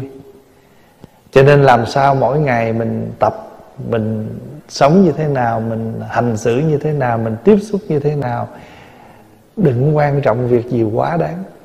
Việc gì mình mình mình xả được, mình xả để cho cái tâm mình nó nhẹ nhàng và mình có niềm vui cái người mà người ta dễ dãi chuyện gì người ta cũng bình thường được hết. Và cái người mà người khó khăn thì chuyện gì cũng quan trọng và làm cho mình phiền não. Thì cái trường hợp đó là phiền não chứ và khi mà phiền não mà nó nó xong rồi thì nhất định mình phải hành xử, phải nói năng, phải như thế nào để nó nó tương ưng. Nó tương ưng với cái phiền não của mình. Thì cái đó gọi là nghiệp chướng tại vì khi mà khởi phiền não thì phải có hành động phải thể hiện qua lời nói. Thí dụ bây giờ uh, Pháp Hòa làm gì đó Pháp Hòa đang ngồi yên nghỉ Thí dụ đang ngồi yên có người đi vô đi ra làm phiền mình quá cái bắt đầu mình nói quạo lên mình la. Thì phiền não nó thể hiện mình không có giữ gìn được thì nó thể hiện qua lời nói làng tháo quát la người ta thì lâu ngày cứ khởi phiền não thì phải hành xử, phải ứng xử. Phiền não thì ứng xử thì cái ứng xử đó gọi là nghiệp chướng. Hai rồi phải không? Phiền não chướng, nghiệp chướng. Nhưng mà rồi cuối cùng á, khi mà mình phiền não, mình tạo nghiệp, khi người ta lâu ngày người ta không ai thích mình hết, không ai thích chơi với mình, không ai thích nói chuyện với mình, ai cũng xa lánh mình thậm chí người ta bỏ mặt mình, vân vân. Và mình trở thành ra một người như vậy thì cái đó là cái kết quả của bằng cái cách sống phiền não và tạo nghiệp. Cho nên cái thứ ba gọi là báo chướng. Nghiệp chướng, phiền não chướng, báo chướng. Và cái thứ, nếu mà, nếu mình dừng ngay đây, thì trong kinh Phật gọi là tam chướng nhưng mà trong kinh Phật còn có một chữ gọi là tứ chướng. Và tứ chướng thêm gì? Thêm cái kiến. Kiến là gì? Là những cái thấy sai lầm của mình. Những cái thấy sai lầm của mình, những cái cái nhìn lệch lạc của mình, nó tạo ra cho mình phiền não, nghiệp. Như vậy thì phiền cái mà cái, một trong những cái nhân mà tạo cho mình phiền não cũng một phần do cái kiến của mình à, Phật học có hai loại chướng. À, một là tam chướng. Nhiều chướng lắm có khi nói nhị chướng nữa. Tam chướng là à, phiền não chướng nghiệp chướng báo chướng mể thêm cái chướng nữa gọi là kiến chướng. Và bây giờ mình nghĩ lại thí dụ có đôi lúc đó mình nóng nảy mình nóng nảy cái mình la mình nói xong cái mình làm mình làm mình làm cho cái tình cảm mình nó mất đi. Hay là mình mất đi một cái cơ hội gì đó cái mình tức mình quá mình nói sao? Tôi tức tôi ghê vậy đó. À, tôi tức tôi ghê vậy đó. Tôi giận tôi ghê tôi tại sao tôi nóng nảy vậy? Thì cái nóng nảy cái phiền não đó nó trở thành cái kẻ địch của mình. Tại vì sao? Tại vì nó chính là cái người mà làm cho mình tại vì mình làm bạn với nó. Mình làm bạn với nó. Cái mình khởi tâm mà mình phiền não mình làm bạn với nó. Vì vậy mà ở trong kinh pháp cú câu thứ 66 có kể là một câu chuyện. Có một cái ông đó ông tên là Supabuddha ông này bị bệnh cùi. Thì một hôm á, ông đến một tỉnh đến tỉnh xá lúc Phật đang thuyết pháp nhưng ông không có vào bên trong ông ngồi bên ngoài. Thì khi mà ông ngồi bên ngoài ông lỡm nghe pháp vậy mà ông chứng quả. Ông chứng được sơ quả gọi là quả dự lưu. À, dự lưu tức là cái quả này là mình nhập vào cái dòng thánh rồi không còn lưu sụp gì nữa hết. Thì ông cũng muốn trình bày ông muốn trình bày cái chỗ ngộ nhận cái chỗ mà mình nhận được cái chỗ mình giác được á nhưng mà ông ngại ông không dám tới gần đức phật. Thứ nhất là ông bị bệnh cùi. Thứ hai là giữa đại chúng đông quá ông mắc cỡ.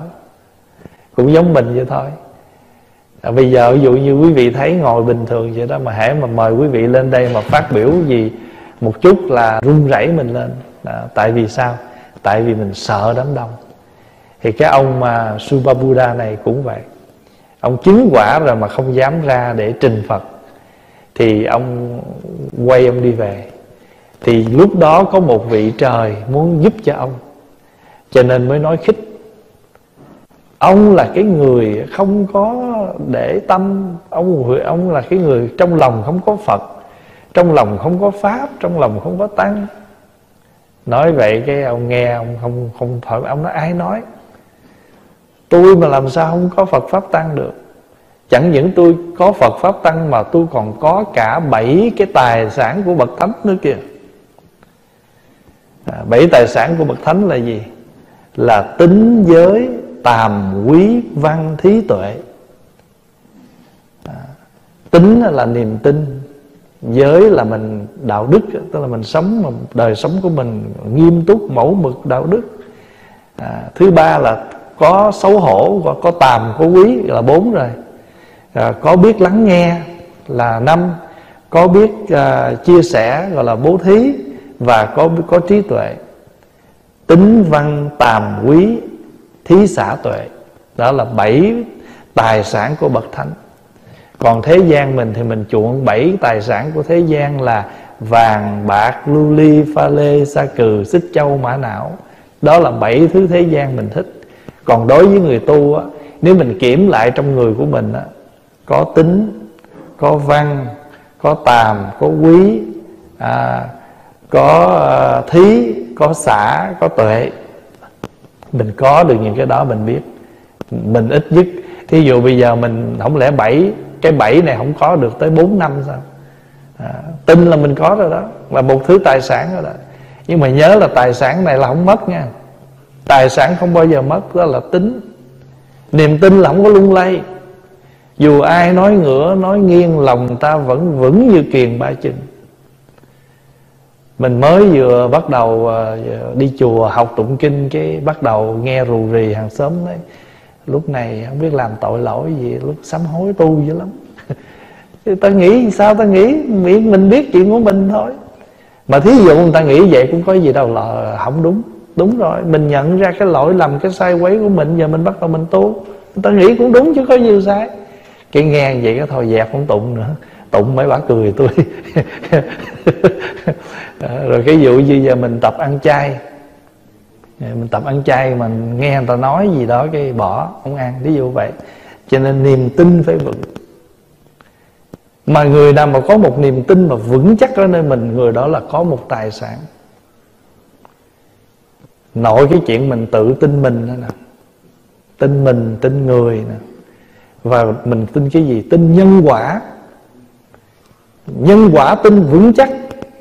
Không ai nói gì được hết. Tin sự, tin lý.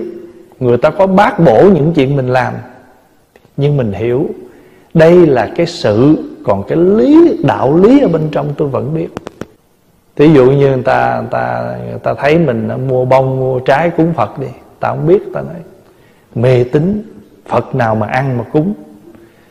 Cúng con trái, con, có có vài trái cam mà mà xinh quá trời quá đất luôn. Thí dụ vậy đó. Mình phải hiểu. Chữ cúng đây là dân tặng. Hoa là cái đẹp, trái cây là cái quả.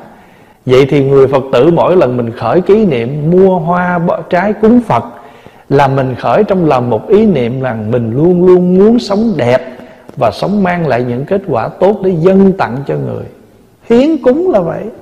Khởi niệm, nếu mà mình không cúng tới mình không khởi tâm. Cũng giống như mình đi đâu mình gặp gì mình muốn mua cho bạn mình. Mình khởi cái tâm về người đó, mình mới khởi được cái ý là cái quà, mình muốn cái tặng cái gì.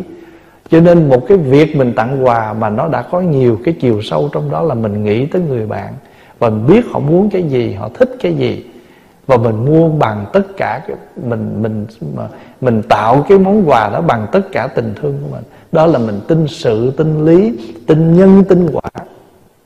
Người có niềm tin không lung lay thì đó là tài sản. Người nghe để làm gì? Để thanh lọc cái thấy biết của mình.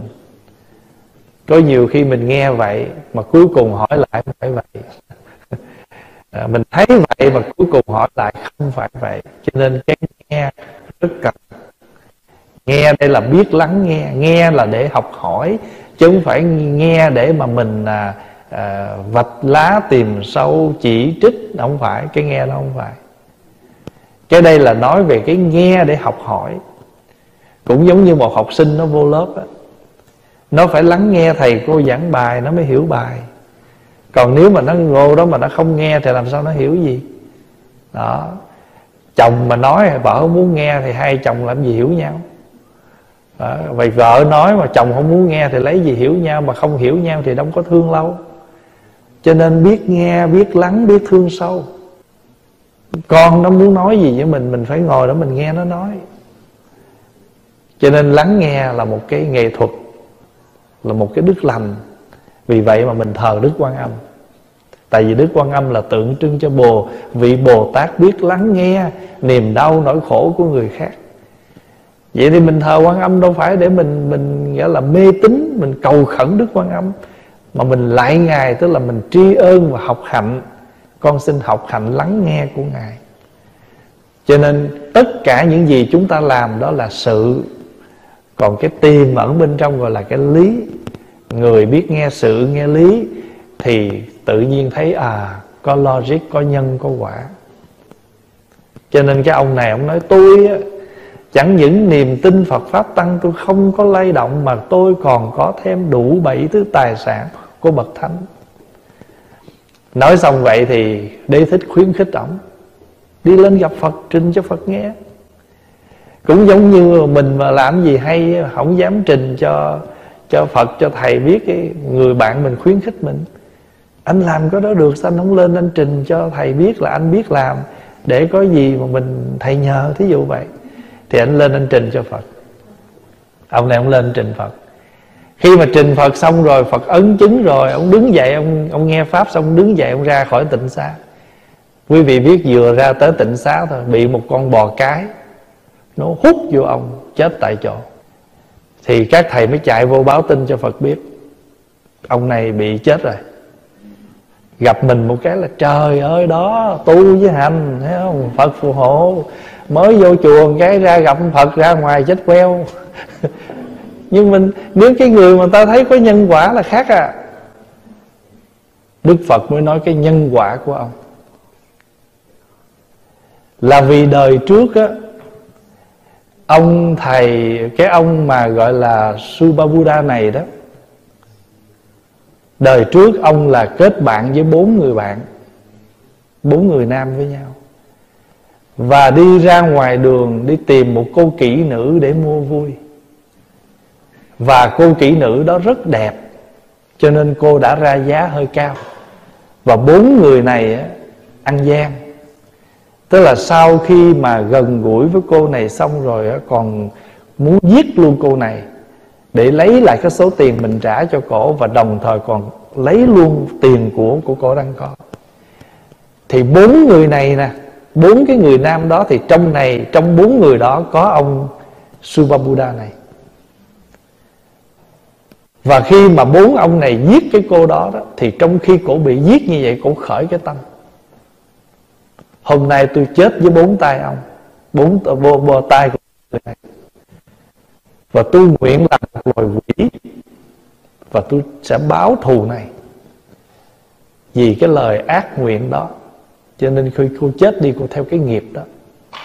Thay vì mình theo cái nghiệp mình tái sinh thì khi mình lúc mình cận kề cái chết đó mình khởi cái nghiệp gì nặng nhất thì lúc đó cô khởi cái nghiệp hận thù cho nên đi theo cái nghiệp đó tái sinh.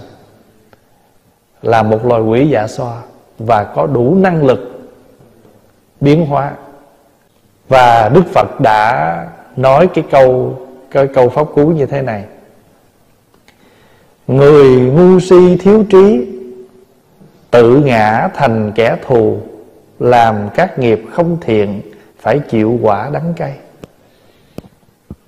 Chẳng những vậy mà đức phật còn nói một kiếp nữa, trong một cái quá khứ khác nữa, ông này cũng có một cái lỗi nữa, đã là phun nước bọt vào những cái bậc trưởng thượng. Ví dụ như bậc thánh đi, hay là những người lớn tuổi hơn mình mình mắng xả, mình chửi rủa, mình phỉ bán thì đó là cái cái quả của ông. Nhưng mà cái, rồi khi mà vì vậy mà đức phật nói người ngu si thiếu trí. Tức là khi một người mà bị mê lầm, thường thường cái người ngu tức là người mê, người không có đủ trí. Mà người mê thì như thế nào? Sống với cái tập nghiệp của mình.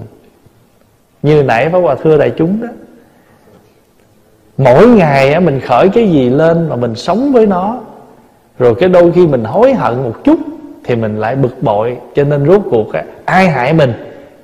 Phiền não nó hại mình. Cũng cũng giống như mình mình nói ví dụ như mình ham ăn ngon đi. Mình biết cái đó ăn vô là bệnh đó. Nhưng mà giờ nó ngon quá, chịu không nổi. Ăn vô. Ăn vô xong rồi mình mắc bệnh. Vậy thì cái gì mà hại thân mình đây? Cái tật ham ăn của mình đó. Đó. Rồi nhiều khi mình có một cái tật ham vui mình có một công việc rất là quan trọng phải làm, hay là mình có một cái mái gia đình thật là hạnh phúc, nhưng mà tại vì mình không thắng được cái ham vui của mình. Mình để cho cái ham vui đó nó lôi kéo mình. Lâu ngày, chày tháng thì mình lại lơ là gia đình có thể hạnh phúc, tiền của mình mất đi. Rồi cuối cùng mà mình hối hận, mình giật mình thì nói sao? Tôi tức, tại vì tôi bị cái con ma này, con ma kia nó lôi mình. Cho nên nó tự ngã thành kẻ thù. Tự mình trở thành một cái người cù địch với chính mình là do những cái phiền não trong tâm mình. Ví dụ như mình bị là mình mình lỡ bị một cái ganh tức nó sanh. Và chính cái ganh tức đó đó, nó xui khiến, nó đẩy đưa mình đụng với cái người bạn mà là, đó, cái mình nói lên những lời ganh tức. Mà người ta nghe, người ta biết liền ta nghe là ta ngửi được cái mùi ganh tức ở từ, ở cái lời nói của mình. Rồi thấy lâu ngày cái người ta thấy mình vậy, cái người ta né mình, người ta không có dám gần gũi mình. Cho nên trên đời nhiều khi bạn thì cũng biết, nhưng mà bạn tri kỷ không có. Bạn tâm giao không có, bởi vì có đôi khi mình không tìm được một người cùng chi kỷ, cùng cái chí hướng với mình vì vậy mà người xưa hay có câu quen nhau đầy khắp trong thiên hạ, tìm được tri âm có mấy người. Mình quen biết rất là nhiều, nhưng ai là người có thể mình chia sẻ? Khó lắm. Tại vì trong cuộc sống này có đôi khi mình chung một chỗ đó nhưng mà không có cùng một cái chí hướng. Vì cái ông này á, trong quá khứ kết bạn với người xấu. Thấy không? Kết bạn với người xấu. Mặc dù đời này được chút phước dạ, nghe pháp nhưng mà mình mới ngộ chứng của đời này thôi. Còn cái quả trước mình vẫn phải trả. Cho nên ông bị con bò nó lủi chết. À, vì vậy mà mình cũng thấy rằng trong cuộc đời này những cái gì nó xảy ra đối với mình không có phải tự nhiên đâu. Nó đều có những cái duyên do trước đó hết mà tại vì mình không được biết thôi. Và nếu mình có học Phật thì mình hiểu được cái nhân quả. Thì nhân quả nó cũng giúp cho mình an ổn đời sống của mình một phần nào. À, nhưng mà mình không có nghĩa là mình lúc nào cũng phó thác cho nhân quả. Mình nhận ra cái nhân quả như vậy rồi cuối cùng làm gì? Ráng sống đời này cho nó tốt hơn để mình chuyển cái cái cái cái quả mà mình đang lãnh. Thí dụ đời này mình lãnh cái quả xấu nhưng mà người không có tu thì khổ đau với cái quả đó. Còn người có tu thì sao? Chấp nhận cái quả này và biết ôm ấp, biết làm cho cái quả này nó được nhẹ nhàng hơn. Ví dụ, bây giờ mình sanh ra một đứa con nó bệnh tật. Nếu mình không hiểu đạo là mỗi ngày mình chăm sóc nó mà mình chửi bới nó. Mày là cái quan trái gì đâu tự nhiên lọt vô nhà tao ví dụ vậy trời ở đời tôi sao khổ như vậy? Sanh nhỏ này ra rồi khổ cho tới bây giờ. Vừa chăm sóc, vừa oán trách nó. Thì cái nghiệp giữa nó với mình không có hết. Thay vì vậy, phải không? Giờ chăm sóc nó. Thay vì mình khởi cái niệm bực bội đó đó, niệm phật, khởi cái tâm thiện, ôm ấp được nó.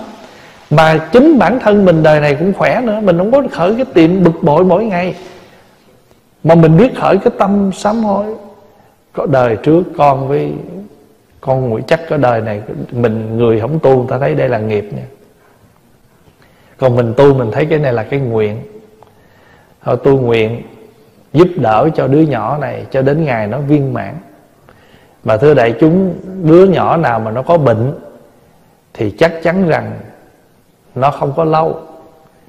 Thì mình làm hết cái viên mãn của mình mà thay vì mình vừa chăm sóc mình la rầy mình chửi bới chi cái đó nó tự nhiên làm cho tâm mình phiền não bực bội. Niệm phật tụng kinh. À, và mình khi đó là trước hết là mình tự chữa cái nghiệp chướng ở trong mình.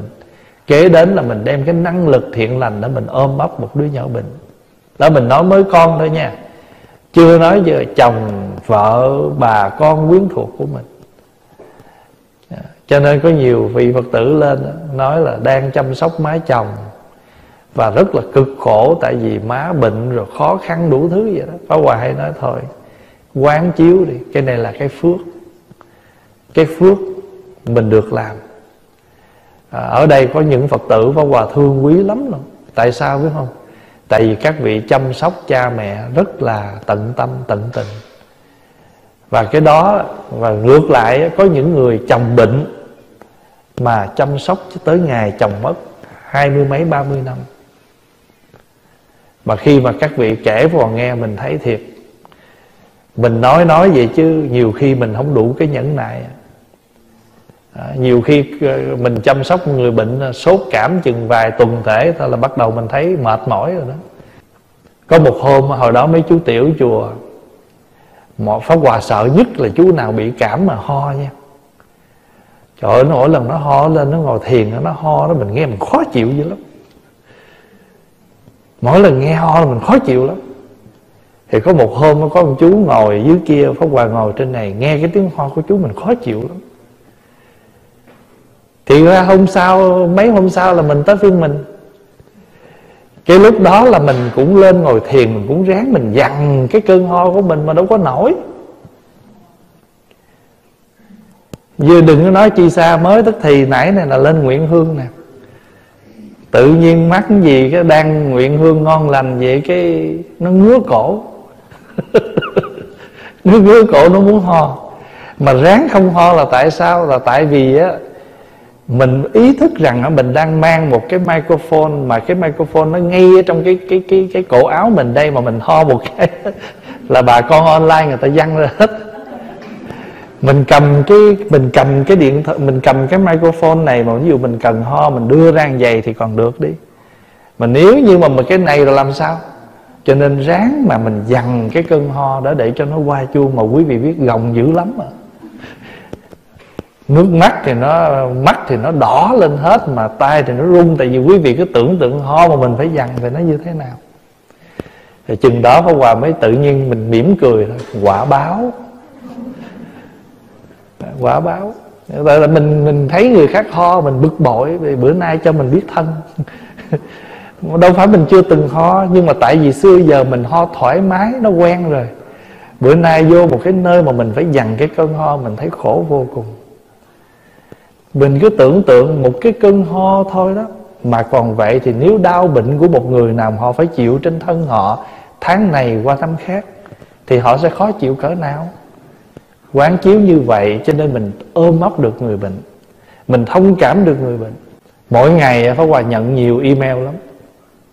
Như Pháp Hòa thưa vậy đấy. 99% mail là khổ mail.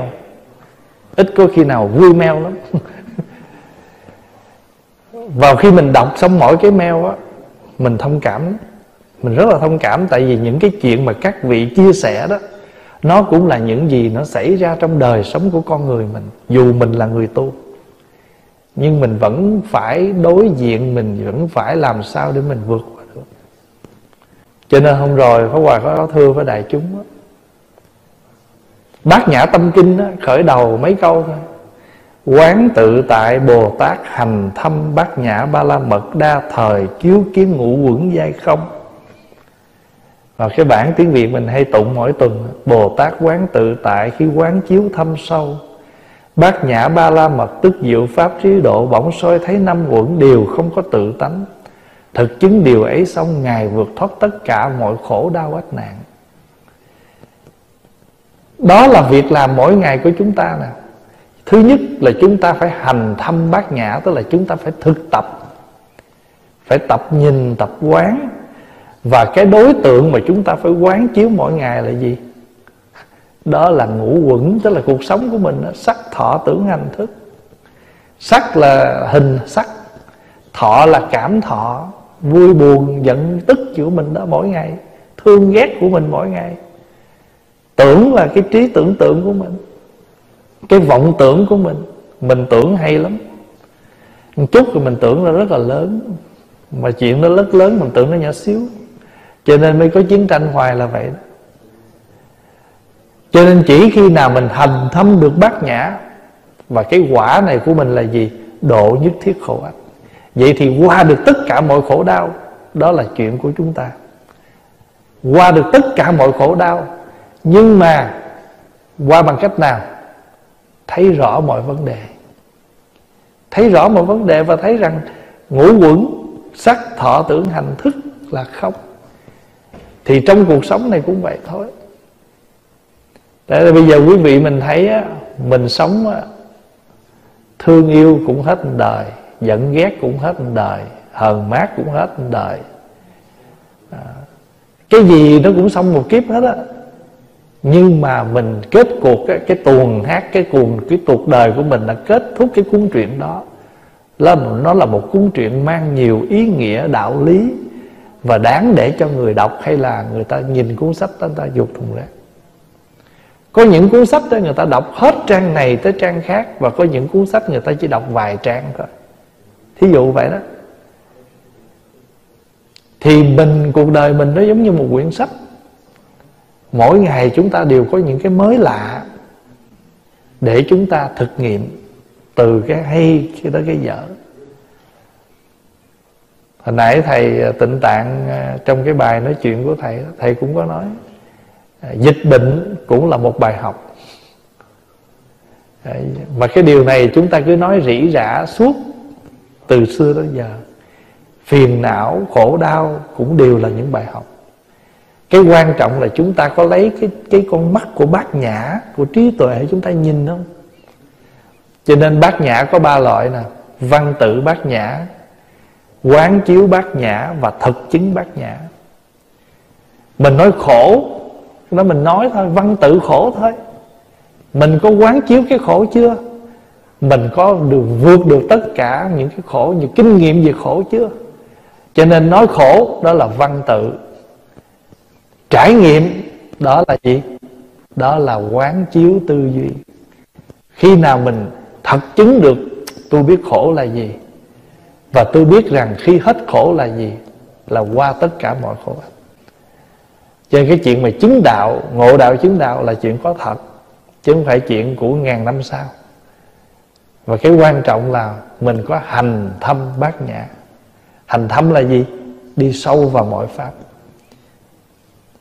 À, bát nhã là trí tuệ, mà mình có trí tuệ để mình đi sâu vào mọi việc để chúng ta thấy rõ từng vấn đề cho rõ rệt cho nên á, cụ Nguyễn Du khi cụ viết truyện Kiều đầu tiên á thì mình nghĩ rằng sao? Mình nghĩ rằng à, chuyện nghiệp chướng của mình đó là trời sắp xếp. Nhưng mà cuối cùng mình phát hiện ra một điều rằng, có trời mà cũng có ta. Đâu phải chỉ ông trời không, có bệnh nữa chứ. Ví dụ ha trời đang mưa mà ở trong nhà đi, chạy ra ngoài tắm mưa chi cho bệnh bệnh xong cái tại ông mà tôi bệnh. Thí dụ vậy đó. Rồi người ta người ta người ta nói một câu khó nghe.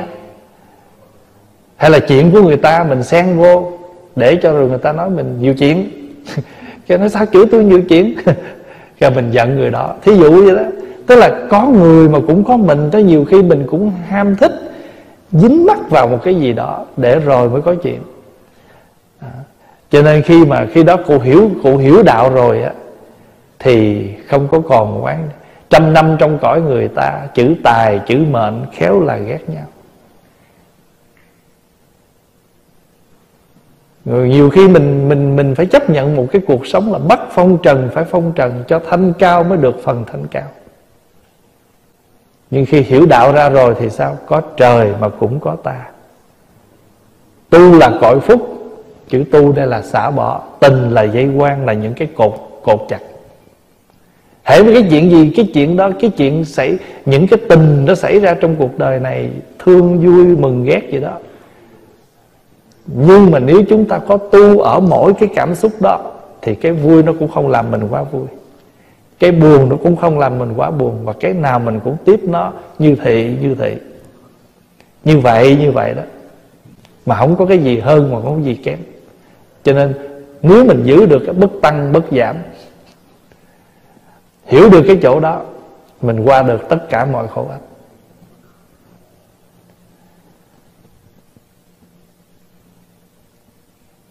cái khổ nó tận thì cái cam lai. Khổ tận cam lai là gì? Cái khổ mà nó hết á cái đắng mà nó hết á, thì cái ngọt nó tới. À, trong chuyện kiều cũng có câu đó hay là khổ tận cam lai? Xưa sau sầu khổ, sau nay vui vậy lúc mà kiều đàn những bản nhạc, nghe hết có sầu não rồi, thì trong lòng của mình nó hết buồn rầu thì mình không còn tấu lên những khúc nhạc kia nữa. Người nào mà rầu rĩ hoài, quý vị gặp quý vị, gặp người đó, quý vị sẽ nghe một khúc nhạc than. Trời ơi, tôi khổ quá. Ví dụ vậy đó. Còn người nào mà ta hết khổ rồi, ta không gặp mình, ta không có than thở gì nữa hết Thôi thì hôm nay ờ, Pháp Hòa xin chia sẻ với đại chúng à, Cái câu kinh Pháp Cú thứ 66 ha. Người ngu si thiếu trí Tự ngã thành kẻ thù.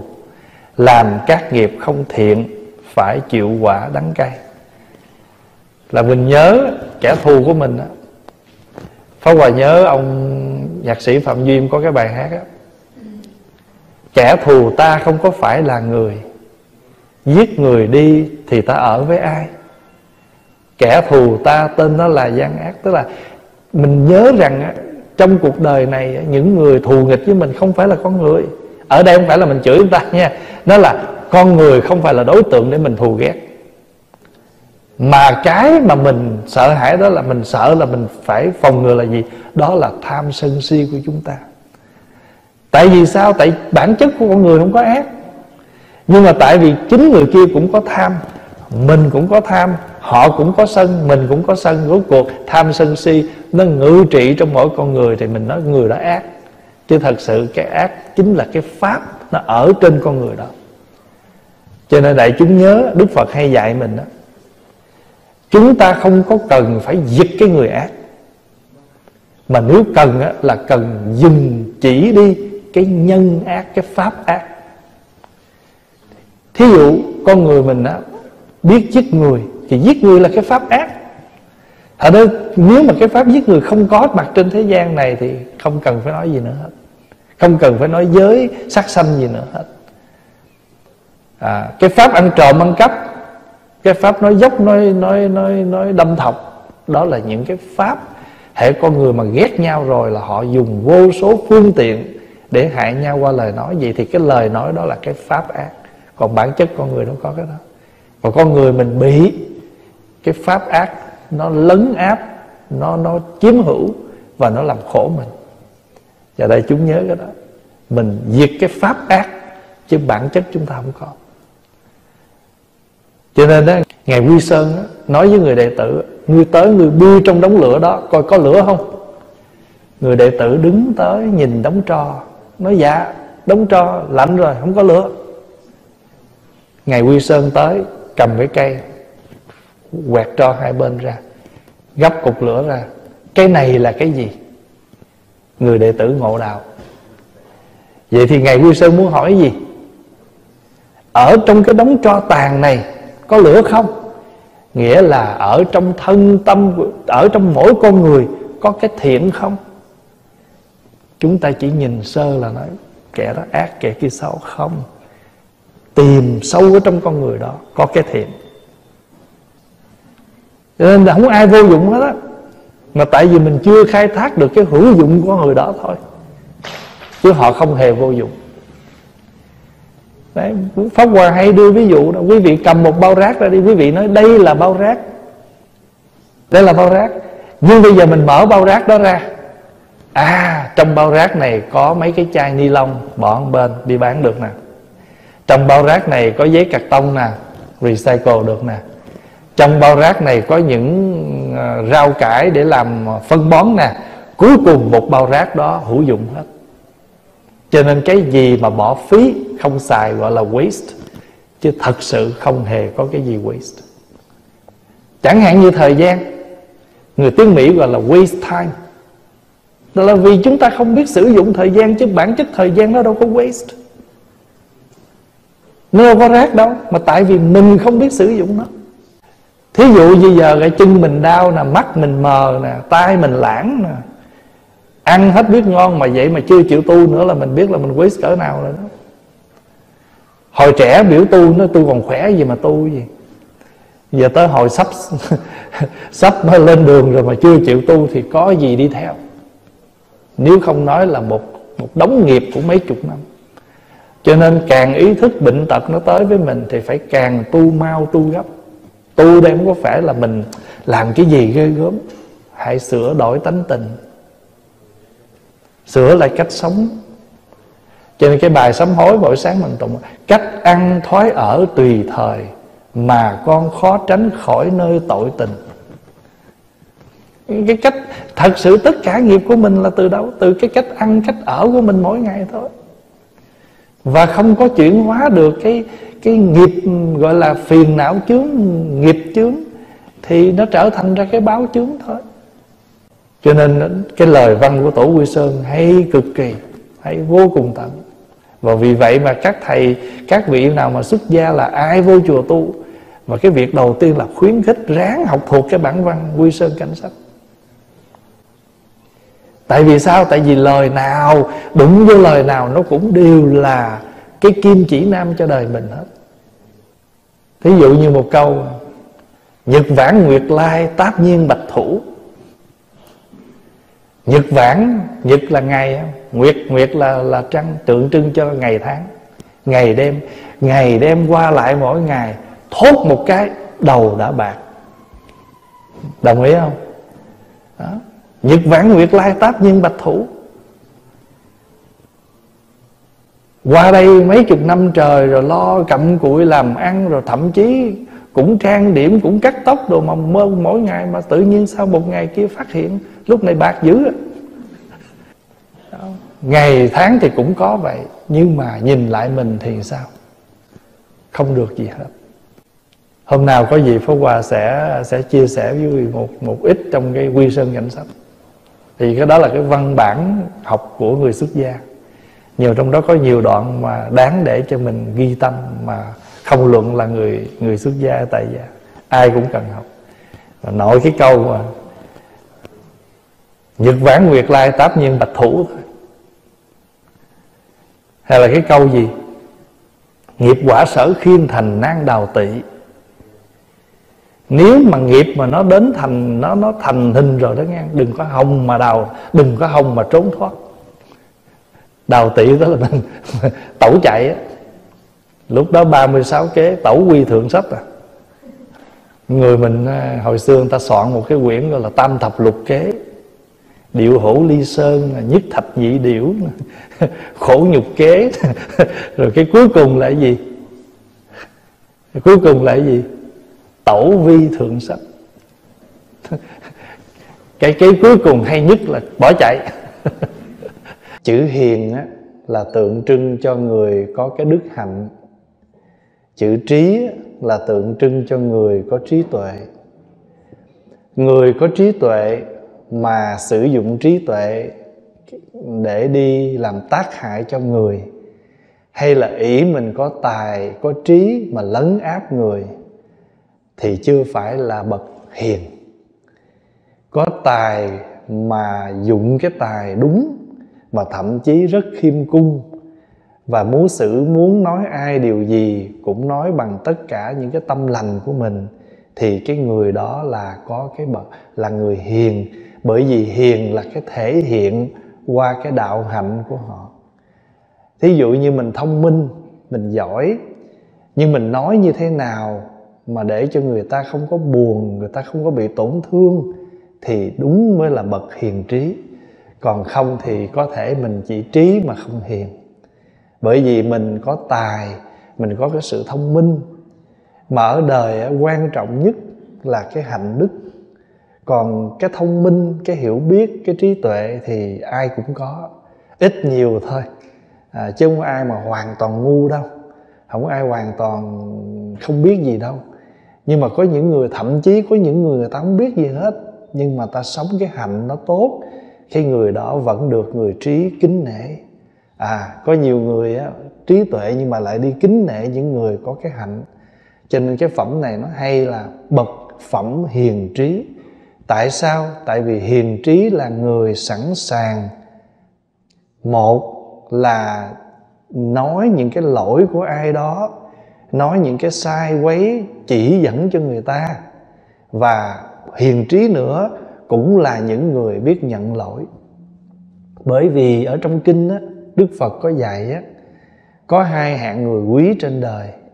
Một là người không làm lỗi, hai là người biết nhận lỗi. Như vậy thì mình có thể là không phải là người đầu không, mình có thể là người thứ hai, tức là lỗi mà biết nhận. Nhưng mà quý vị có thấy trên đời này có nhiều người người ta lỗi mà người ta không nhận không? Cái này chắc hơi nhiều, thậm chí mình cũng có trong đó. Tại vì sao? Tại vì tự ái, tại vì bản ngã. Cho nên mình đâu có chịu nhận lỗi, mà người không nhận lỗi không phải là người trí. Tại vì người trí là nhận lỗi để làm chi? Để sửa. Ví dụ mình làm một cái bài ờ, cái bài toán nó sai, nó trật mình ông thầy giáo kêu lên chỉ lại cho mình thì tại sao mình không nghe? À mình làm cái gì không đúng mà người ta chỉ cho mình thì tại sao mình không học? Mà người không có học thì làm sao biết cái gì? Vì vậy mà người xưa cũng có câu đó không? nhân bất học bất tri lý. Người mà không học làm sao thông được cái lý? À, cho nên á, là cái người mà không học á nhân bất học á, thì minh minh như dạ hành. Người không có học á, đi giống như cái người đi mờ mờ trong sương đêm vậy đó. Tại vì sao? Đi thì đi chứ thiệt sự không thấy phía trước cái gì. Ở đây có bao giờ mình lái xe vào một trời tối mà mịt mù sương mù không không có biết ở phía trước là cái gì mà thật sự là chỉ đi theo cái cái cái cái cái nhớ cái tưởng tượng của mình vậy thôi. Đó hồi hộp lắm phải không? Nhân bất học minh minh như dạ hành chữ minh minh này là gì? Là mù mù, mờ mờ, như là đi trong đêm vậy đó. Dạ hành là đi trong đêm. Cho nên cái người mà có, cái người mà trí là người phải mở lòng học.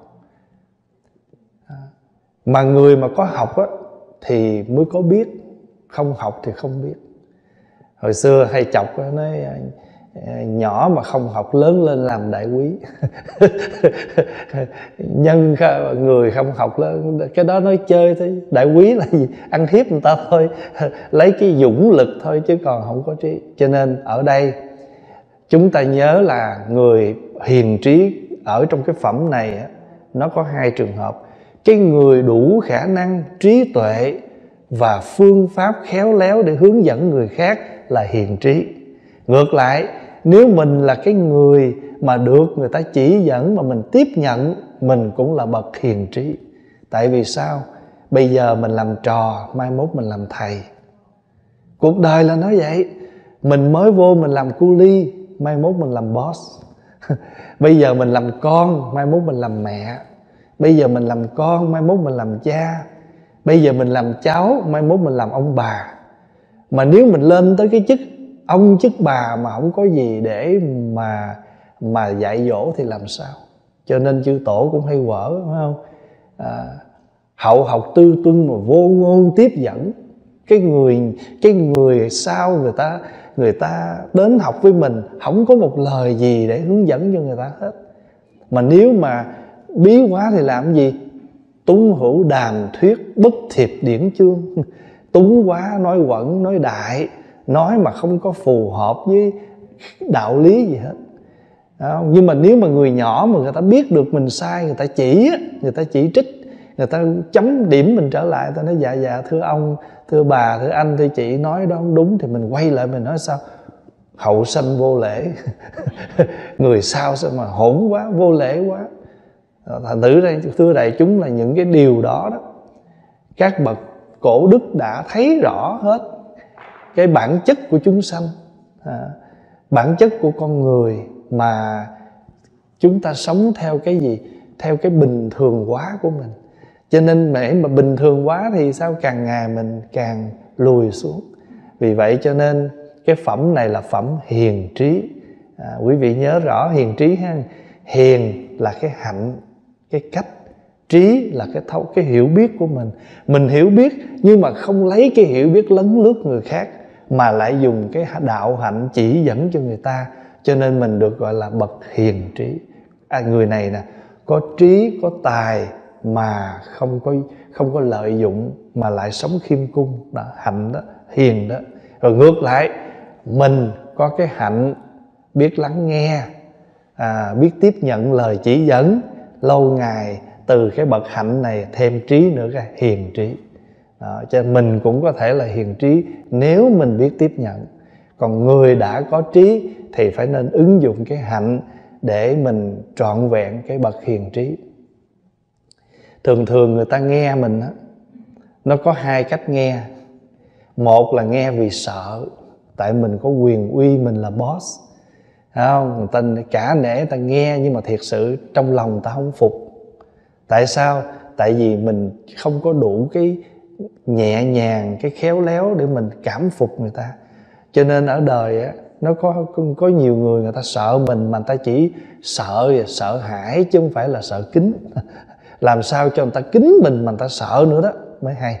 Vì vậy mà trong cái bài tụng buổi sáng có câu á à, đại chúng ngưỡng quan úy ái kim bảo.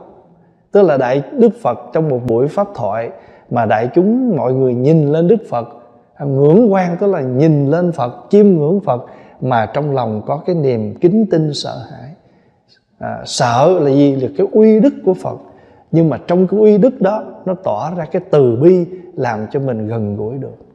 Cho nên những cái có những bậc chân tu đạo hạnh đó, ở nơi họ tỏa ra được cái uy nghiêm nhưng mình không sợ. Trong cái uy nghiêm đó có cái tâm từ có cái nhẹ nhàng làm cho mình tự nhiên cảm mến. Đó bậc hiền trí thì à, cái câu thứ 76 à, hôm trước mình học câu 75 rồi, thì câu 76 này nằm ở trong cái phẩm hiền trí. Cái câu như thế này, nếu thấy bậc hiền trí chỉ lỗi và khiển trách, như chỉ chỗ chôn vàng, hãy thân cận người trí, thân cận người như vậy chỉ tốt hơn không xấu. Đơn giản không? Hạ nếu gặp à, nếu mà gặp và thấy bậc hiền trí chỉ lỗi và khiển trách. Có khi người ta trách khiển trách mình mà có thể chỉ lỗi mình. Đừng có buồn. Như người đó làm gì? Chỉ cái chỗ chôn vàng cho mình đó. Tại vì sao? Cái người đó chỉ cho mình cái chỗ mà đặc biệt mà mình chưa khai thông. À. thì cái câu cái câu này à, được đức phật nói trong một cái trường hợp là ở trong chùa đó có một ông cụ lớn tuổi đi vô chùa làm công quả. Thì ông này tên là Radha. Thì ở chùa làm công quả một thời gian á, thì ông cảm mến cái đời sống tu hành cho nên ông muốn đi xuất gia. Nhưng mà ngài ngài xá lợi phất không có nhận, bởi vì thấy ông già quá, sợ ông không có không có tu được, chịu cực được, và nhất là gì? Khó hướng dẫn tại sao thưa đại chúng? Tại vì người lớn tuổi này mình nói chung nha người lớn tuổi thường hay có cái chấp trước của mình. Tôi là đúng tôi ăn cơm nhiều hơn anh thì tôi ăn muối nhiều hơn anh ăn cơm. Có nhiều khi nói là sao hồi tôi sanh ra đó tôi hồi tôi còn tôi làm cái này không biết anh còn ở đâu. Tức là mình có nhiều cách để mình nghĩ rằng cái người trẻ kia không bằng mình. Và đồng thời á, mình vô chùa mình mặc dù mình thấy cái người kia trẻ nhưng mà mình nghĩ rằng mình lớn tuổi hơn, mình có cái, mình có cái đạo hơn, mình có cái hiểu biết nhiều hơn, cho nên khó tiếp nhận lắm. Cho nên ngài xá lợi phất không có chịu nhận cái ông ông cụ ra đa này đi tu. Đức phật biết được việc đó. Nhưng mà đức phật tới gặp ông thì đức phật quán thấy rằng à, ông này có khả năng chuyển hóa, có khả năng chuyển hóa. Cho nên đức phật nói với ngài ngài ngài xá lợi phất tại sao thầy không nhận? Nói dạ tại vì con thấy ông lớn tuổi và có lẽ hơi khó dạy. Đức phật nói không thầy nhận đi. À, nhận đi rồi bây giờ mình coi như mình đền ơn cho ông đi. Tại vì xưa giờ ông ở chùa ông công quả phải không? Mình nhận ơn của ông rồi. Thôi bây giờ mình thể hiện sự biết ơn mình tiếp độ cho ông tu rồi mình hướng dẫn cho ông. Thì thật không ngờ khi mà đưa ông vào tu á thì ông rất là dễ dạy rất là dễ hướng dẫn. Cho nên một thời gian không có lâu ông được chứng quả. Thì khi mà cái câu chuyện này á, được à, à, đức phật hỏi thăm rồi các thầy nói cho phật nghe đó thì phật mới nói như thế này. Cái người cái ông cụ ra ra này á là một cái người dễ dạy như vậy đó mà tu tập tốt mà dễ chứng quả như vậy đó, không phải chỉ đời này đâu, mà ông đã gieo trồng nhiều đời rồi. Nhưng mà cái duyên của cái kiếp người đời này á, tu hơi muộn thôi. Nhưng mà cái sự ngộ đạo, cái sự mà ờ, học hành rất là nhanh chóng mà dễ dàng. Thì đó cho nên đức phật mới nói nếu thấy bậc hiền trí, chỉ lỗi và khiển trách như chỉ chỗ chôn vàng. Hãy thân cận người trí, vì sao thân cận người như vậy chỉ tốt hơn không có xấu? Tại vì sao? Tại mình gần cái người mà có hiểu biết. Nói theo bình thường là gì? Gần đèn. Gần đèn thì phải sáng thôi. Chỉ có khi nào mình gần mực nó mới đen. Cho nên gần đèn thì sáng. Ngày xưa có cái câu như thế này hoàng kim thiên lượng vị vi quý. Đắc nhân nhất ngữ thắng thiên kim. Ừ. Hoàng kim thiên lượng tức là có được một ngàn lượng vàng chưa chắc đã quý vị vi quý. Và hoàng kim thiên lượng vị vi quý chưa chắc đã là quý. À, nhưng mà đắc nhân nhất ngữ thắng thiên kim. Được người nào đó chỉ nói cho mình một câu hay quý hơn ngàn vàng. À thì cái câu đó mình dịch là vàng rồng ngàn lượng chưa là quý. Được một lời hay gấp ngàn vàng. Được một ngàn vàng mình có và, và vàng rồng mà ngàn lượng chưa là quý. Tại vì ngàn lượng vàng để trong tủ. Ngàn lượng vàng nhiều khi nó còn nguy hại nữa. Nhưng mà nếu mình được một lời hay mà mình theo cái lời hay đó mà mình phát triển lên, cuộc đời mình khác đổi lắm mà. Khác lắm mà. Nhiều khi có tiền có thể thay đổi mình á, một là mình xấu hơn, tại vì mình tham, hoặc là vì, bị cướp, bị giật, vân vân. Nhưng mà cái lời nói, cái lời hay, ý đẹp ở trong tâm mình á mà mình sống với nó thì mỗi ngày mình phát triển lên đẹp lên mà người khác nhìn mình người ta thương quý mà mình còn truyền dạy nữa. Cho nên hoàng kim thiên lượng vị quy quý.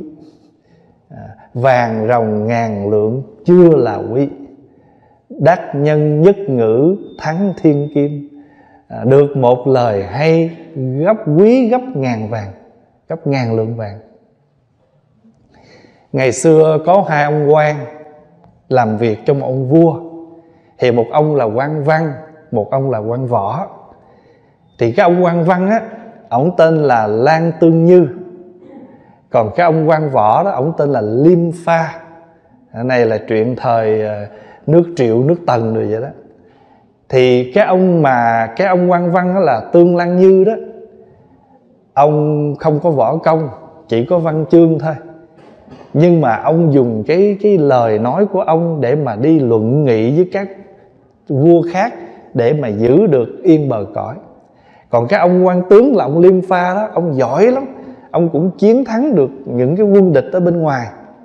Thì ông liêm pha ông coi thường cái ông quan văn là ông lan như đó. Vì ông nghĩ rằng á, quan võ là bất quá là cái gì? Chỉ có cái võ bên ngoài chứ văn chương chữ nghĩa bóng bẩy thôi, chứ đâu có làm gì khi mà đất nước lâm nguy. Cho nên ông quan võ, ông thường chê ông quan văn lắm. Thì mỗi ngày đi vào chầu vua đó, thì hai ông đi cùng một con đường. Mà cứ mỗi lần mà gặp nhau chung một đường á, không phải gặp nhau cứ làm ngơ. Chung một đường gặp nhau cứ làm ngơ, không phải vậy. Mà ông này, ông quan văn, ông gặp ông quan võ cùng một đường á thì ông cho kiệu dừng lại lùi một bước để nhường cho quan võ đi trước. Thì ông quan võ ông, ông lấy làm đắc ý. Ông cứ sống uh, vinh vang với cái cái cái sự mà người ta gọi là nể trọng mình như vậy. Thì cái cái cái gì những cái người lính hậu cần của ông quan văn á thấy như vậy bất bình thì mới nói với ông quan văn á, tại sao ngài lại phải lòn cuối nhường nhịn cái kẻ kia như vậy? Thì ông mới sợ á, cái câu chuyện này á, nó tiếp tục nó lan lây ở trong cái nội bộ, làm cho cái nội bộ nó càng thêm rối rắm. Cho nên một ngày nọ ông tập hợp tất cả đệ tử lính tráng của ông lại. Ông mới nói như thế này. Ông mới nói ở trong một cái rừng mà hai con hổ nó đấu nhau thì chắc chắn phải có một con bị thương. Mà cái con nào bị thương á, thì nó sanh thêm oán. Mà cái con mà thắng thì nó lại chuốt lấy cái thù địch của đối phương. Cũng như thế trong một triều đình mà hai quan đấu đá với nhau thì ông mới nói như thế này giữa ông vua và cái ông quan liêm pha này, ai là cái người quyền uy thì dĩ nhiên là vua. Nhưng mà tại sao ông vua nước kia tôi không sợ, tôi dám tới, tôi luận nghị với ông mà tôi lại sợ ông liêm pha? Bởi vì tôi không có muốn ở trong một nước mà hai quan lại đấu nhau. Mà mình đấu nhau như vậy thì lỡ cái này nó sẽ làm cho rung rinh cái nội bộ, mà chính cái này đất nước sẽ dễ diệt vong cho nên, tại sao mình không nhường một bước để giữ yên bờ cõi? Nội bộ mà chắc vững thì ai có khả năng phá quấy? Cái này nó giống như trong một cái cộng đồng vậy đó. Nó giống như trong một cộng đồng, nó giống như trong một cái mái gia đình vậy đó. Chị em, anh em mà không thương nhau mà đi nói xấu nhau. Đừng có nghĩ rằng cái đó là người ta sẽ binh vực cho mình. Nhưng mà chính cái đó người ta thấy được cái nội tình của cái gia đình này. Và chính cái chỗ hở này nè, dễ dàng cho người ta dèm pha nếu người ta không thích mình. Người ta dèm pha và người ta nói những cái điều sai quấy. Người ta thêm mắm dặm muối để làm cho cái nội bộ mình lũng củng mà mình không biết cho nên ngày xưa có một ông vua đó, ông muốn sang quân đi đánh giặc đó vua vua thì lúc đó ông đó đang ngồi với đức phật nói bẩm hoàng thượng, mình chuẩn bị đi đánh cái cái đất nước kế bên. Thì ông vua ông mới xây qua, ông hỏi đức phật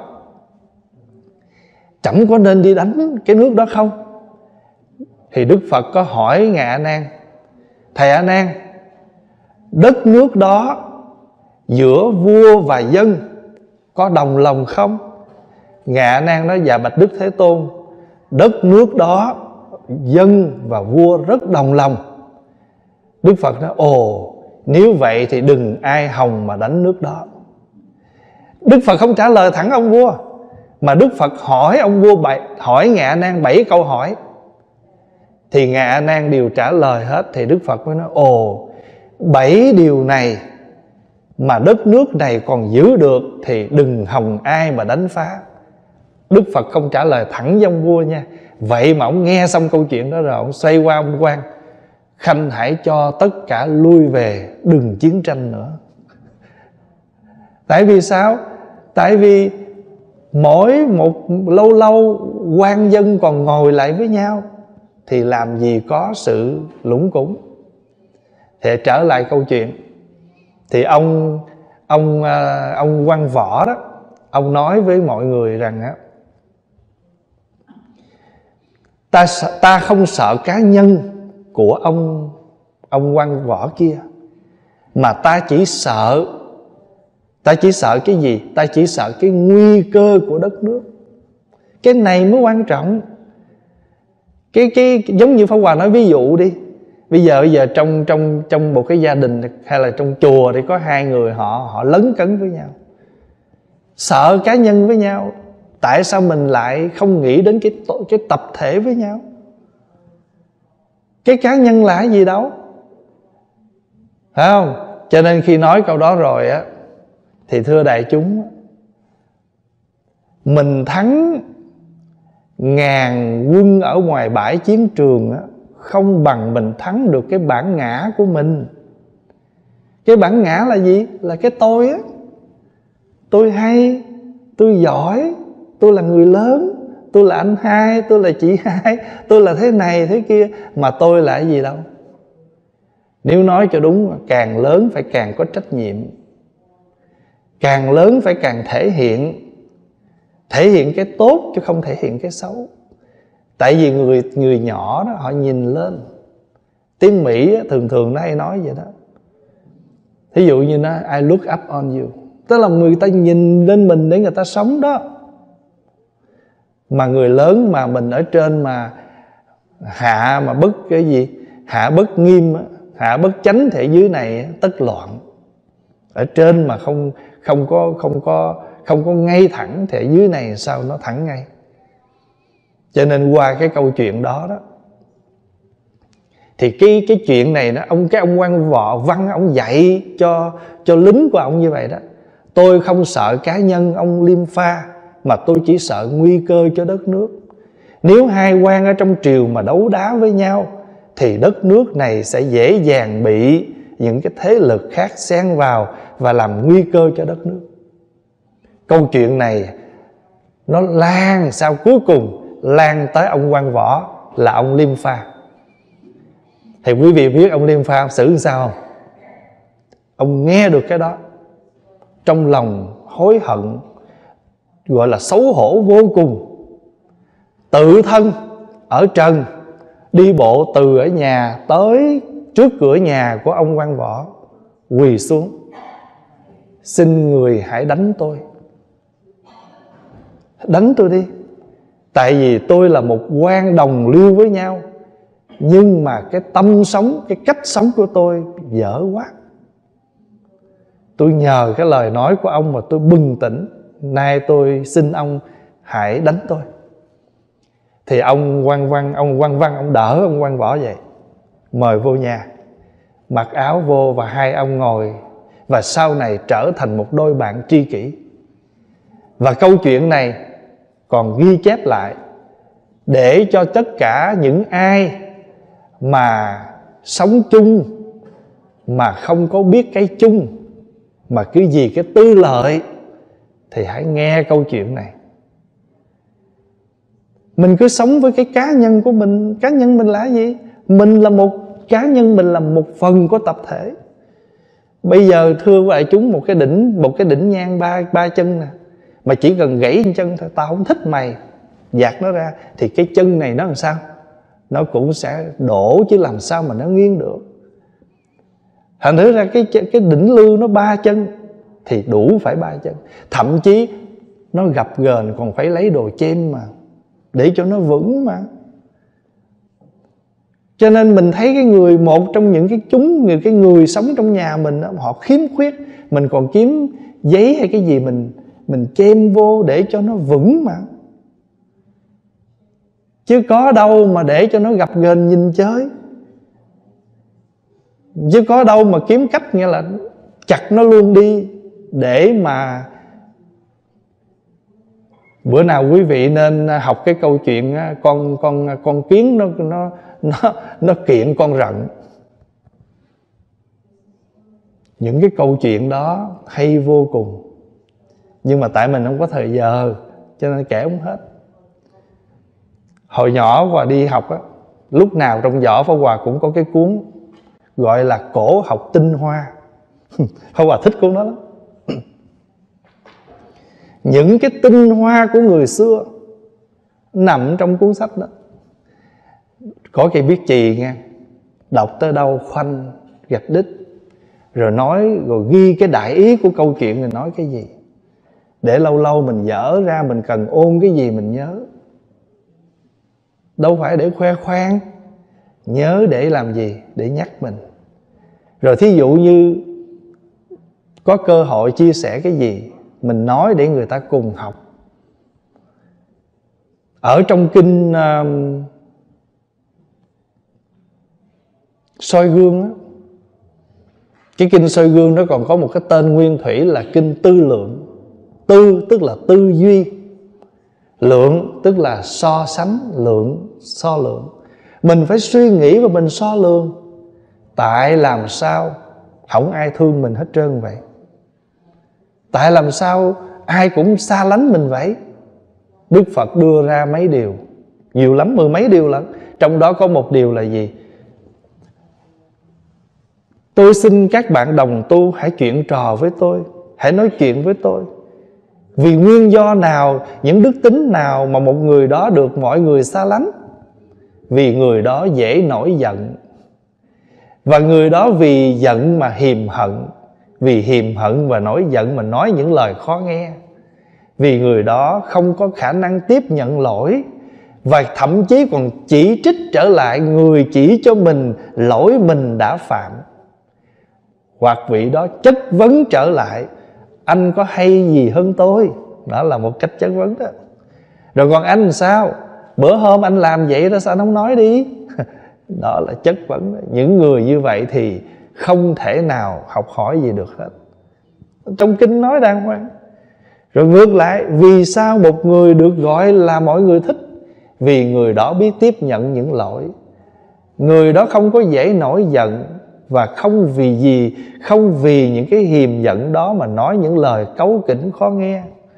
Và người đó luôn luôn không bao giờ chỉ trích những người đã chỉ cho mình lỗi mình đã phạm. Và người đó không bao giờ cứng đầu và tự cao. Đó là những cái chuyện mà đức phật nói trong kinh soi gương đó. Quý vị mở nhật tụng thiền môn ra còn muốn mở trong kinh nikaya, thì kinh gọi là kinh tư lượng. Tung tử có một câu như thế này. Người mà chỉ cái lỗi cho mình mà chỉ đúng, người đó là thầy mình.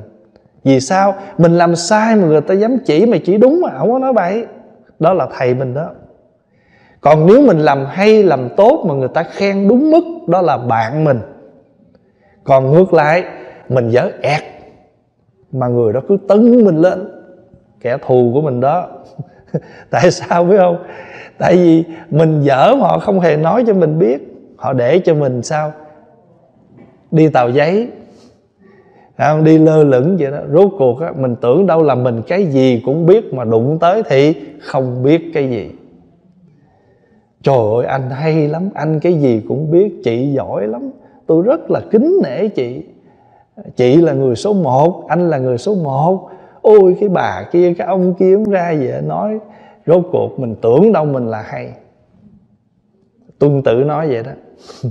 Người chỉ cho mình cái dở mà chỉ đúng. Chị giờ mình dở thật nó dám nói cho mình nghe cái dở của mình. Đó là thầy mình. Còn mình làm cái gì hay mà người đó dám, người đó khen mình đúng mức, không có quá, người đó bạn mình còn mình không là gì hết mà họ cứ tưng bốc mình, họ cứ cứ đưa mình lên tận mây. Gọi là kẻ thù của mình. Tại họ cho mình sống với cái bản ngã của mình. Họ cho mình sống với cái gọi là tưởng tượng của mình. Mà rốt cuộc rồi là tưởng tượng là tưởng vôi. Mình tưởng đó là thật. Cho nên, trong kinh, ở trong cái truyền thống của đạo phật mỗi năm ba tháng an cư đến cái ngày cuối mãn hạ sau ba tháng, đại chúng tập hợp lại. Và người nhỏ sẽ quỳ trước người lớn. Sau ba tháng tu hành chung với nhau. Nếu thầy thấy con có những lỗi lầm gì mà do thầy thấy, do thầy nghe, do thầy nghi lỗi con có ba trường hợp, thấy, nghe, nghi xin thầy thương con mà chỉ cho con. Có nhiều khi tôi không thấy mà tôi nghe người ta nói, đó là gọi là nghe. Có nhiều khi tôi thấy mà tôi không rõ ràng, tôi chỉ nghi ngờ thầy là sai quấy thôi. Lỗi của mình, người khác có thể nghe lỗi, thấy lỗi và nghi lỗi. Xin thầy hãy thương con, nói cho con biết để con sửa. Thầy kia nói không ba tháng qua, thầy không có gì sai quấy hết và con xin lắng nghe. Còn ngược lại, trong ba tháng qua, đã có vài lần thầy làm việc này, việc kia không đúng. Nay tôi nói cho thầy biết để thầy sửa, rồi lần sau mình có ở chung như thế này nữa, thầy đừng làm như vậy. Ví dụ như là nửa đêm thầy ở chung với người ta, mà thầy không có tôn trọng cái giờ giấc nghỉ của chung thầy muốn mở cửa rầm rầm giờ nào thầy mở? Thầy bật đèn lên bật đèn xuống. Thầy đang ngủ mà thầy cứ làm rốt rạc thầy làm ồn. Thầy đi lên đi xuống cái giường mà không có cái chánh niệm làm cho cái, nó vang cái tiếng ồn. Người ta nể cả thầy người ta không nói nhưng mà người ta mất ngủ ra người ta phiền. Ráng mai mốt ngủ không được nằm yên. Lỡ cần đi vệ sinh buổi tối đi nhẹ nhàng à, mình phải nhớ ban đêm mình phải đại chúng ngủ nghỉ là mình phải tôn trọng cái giờ đó không nên làm ồn. Thí dụ vậy đó. À, hay là nói rằng á thầy đi lên trên chánh điện thầy lại phật ngoài cái giờ của chúng.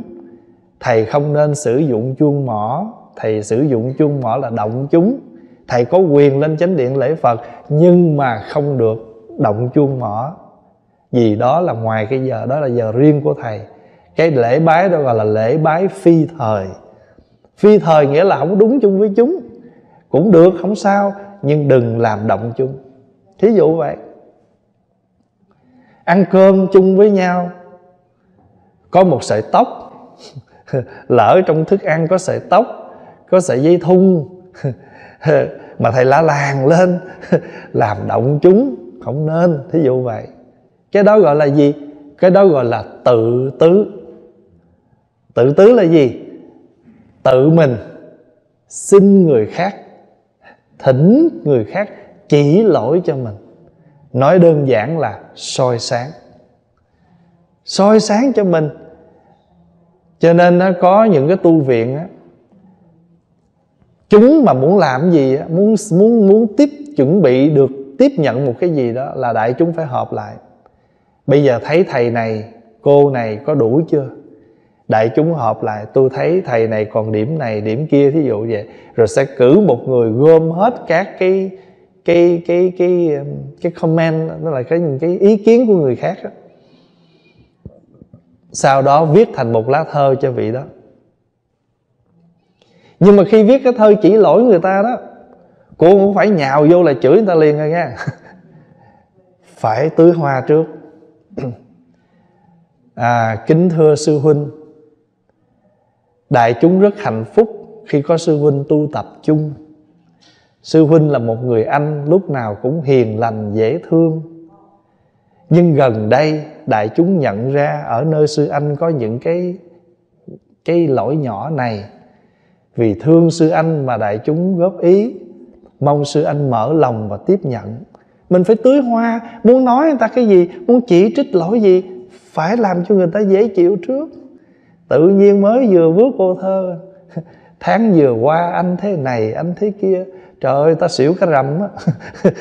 Vì người ta đâu có, người ta không có khả năng tiếp nhận những lời chỉ trích một cách thẳng thắn như vậy. Chưa phải là hiền. Hiền là chỉ trích người ta, chỉ lỗi người ta mà phải thật là khéo léo. Từ đó nó mới ra cái đạo hạnh chứ. Ừ. có nhiều bậc thầy thấy đệ tử mình sai. Nhưng ít khi nào mà la rầy một cách, gọi là, nặng nề, vì cách đó cũng chưa phải là cách. Nó có những cách khác nữa. À, Pháp Hòa ví dụ như hôm trước Pháp Hòa kể một câu chuyện, các thầy trẻ tối ham đi chơi, leo tường đi chơi. Đơn giản thôi, đi coi cải lương lúc mà thả thả thả ở Việt Nam chưa thả vàng, cái khúc cuối mở cửa cho vô coi, hay là thích coi đá bóng như vậy. Đi về cái ông leo vô trước. Ông leo vô trước, cái đứng khom lưng chân ông thứ hai leo ông thầy, ông rình riết ông gặp gặp cái bữa đó. Ông biểu một đứa leo vô rồi, cái ông bắt gặp rồi, cái ông biểu vô phòng đi để đó ông đứng. Ông đưa cái lưng vô, đệ tử nó leo hết 10 đứa vô. Nó ngó lên, thấy trời ơi, nãy giờ mình đạp lên lưng ông sư phụ mình xuống. Rồi hết hồn hết vía rồi ông nói đi chơi về mệt không con? Con có đói bụng không? Thầy nấu mì mì gói mama cho con ăn. Từ đó về sau không một chú đệ tử nào dám trốn đi nữa. Vì cái thấy cái đức của thầy của mình. Pháp Hòa nhớ nha Cái này là chuyện của Pháp Hòa đó, hồi nhỏ đó. Thèm sữa bò lắm. Quý vị nhớ sữa ông Thọ đó. Trong cái lon đó Trời ơi, hồi nhỏ là thèm ghê gớm luôn. Thì một hôm nọ, trong phòng của sư bà Có một cái lon sữa ông Thọ đó. Lúc đó pháo Hòa làm công quả chùa Bảo An á, Ở Cần Thơ á. Nguyên một đám rình sư bà ngủ trưa, đi nhẹ vô lấy nguyên lon ra ngồi chia. Sư bà ngủ dậy, lúc mà sư bà nằm là đã thấy nguyên đám nó đem ra nó ăn rồi. Nhưng mà không có la để cho nó ăn cho nó đã thèm. Thật ra người lớn người ta đâu có tiếc chi lon đó. Cái sư bà xong rồi chiều sư bà kêu lại, hồi nãy tụi con thèm sao không nói thầy đưa? Ăn lén lút vậy đâu ngon con. Và thưa đại chúng là đó là cái cách hành xử của người xưa còn bây giờ, trời ơi, mình thấy con đệ tử mình, sư em mình à, sư, cháu mình nó làm diện chút thôi là mình phanh ra hết. Sợ thế giới chưa biết. Mình còn đói chứ cả. Cái đó không không không, cái đó không phải là cái cách để cảm hóa. À, có một ông hòa thượng ngồi thiền, ăn trộm nó lén vô, nó lục hoài mà chẳng có cái gì hết trơn á. Trời lạnh mà. Cái nó lén cửa sổ cái nó đi ra cái ông hòa thượng. Đạo hữu đã lô tới đây rồi, tại sao đi ra tay không? Trời lạnh lắm, lấy thêm cái mền, tôi để ở góc đó đó. Trời ơi, ăn trộm nó cũng chạy tới, nó gom cái mền xong nó chạy, nó đừng leo cửa sổ té, đi cửa chính. Thì sáng ra thì mấy người đệ đệ tử mới hỏi làm sao mà thầy nói người ta khổ, người ta mới đi ăn trộm. Chứ có ai mà mà mà dư mà đi đâu. Hồi nãy có một cô phật tử tội lắm. Cô tới, cô nói, thầy thầy, bữa hôm thầy bị gạt 500 á, người ta trả thầy chưa? Vì cũng có một lần chủ nhật giống vậy nè, sắp sửa lên làm lễ thì có người chạy vô chùa nói, thầy ơi, má con bệnh ở việt nam nặng lắm, con cần hai ngàn đô. Mà lúc đó mình đâu có tiền đi xuống với mấy cô quét một chút một chút vậy lên được 500 đưa cho ổng mà mình biết trong bụng rồi. Đưa này là 98% là đi mà không có ngày về. Thì cô mới giống như nghĩ là phú hòa, cô muốn đền cái tiền nó lại vậy đó. Cô nói, thôi thầy ráng cho con đi, vài bữa nữa con có tiền đưa là nó không thay vì pháo quà cúng dường pháo quà bố thí, thì người ta, thật sự người ta đường cùng người ta mới vô tới đây. không? chứ mà nói cho cùng, tiền của đâu phải của pháp hòa đâu. Của bá gia bá tánh. Thì thôi, mình thay thế bá gia bá tánh, tặng cho người ta. Đừng nghe vậy, vô gạt em hoài nghe.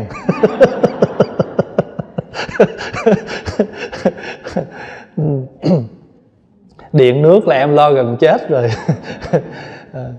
Thì à, thưa đại chúng là mình nói như vậy là để nói cái chữ hiền trí và cho nên cái người mà người ta, và cái người mà người ta có tàm quý sau khi nhận lỗi rồi không có tái phạm.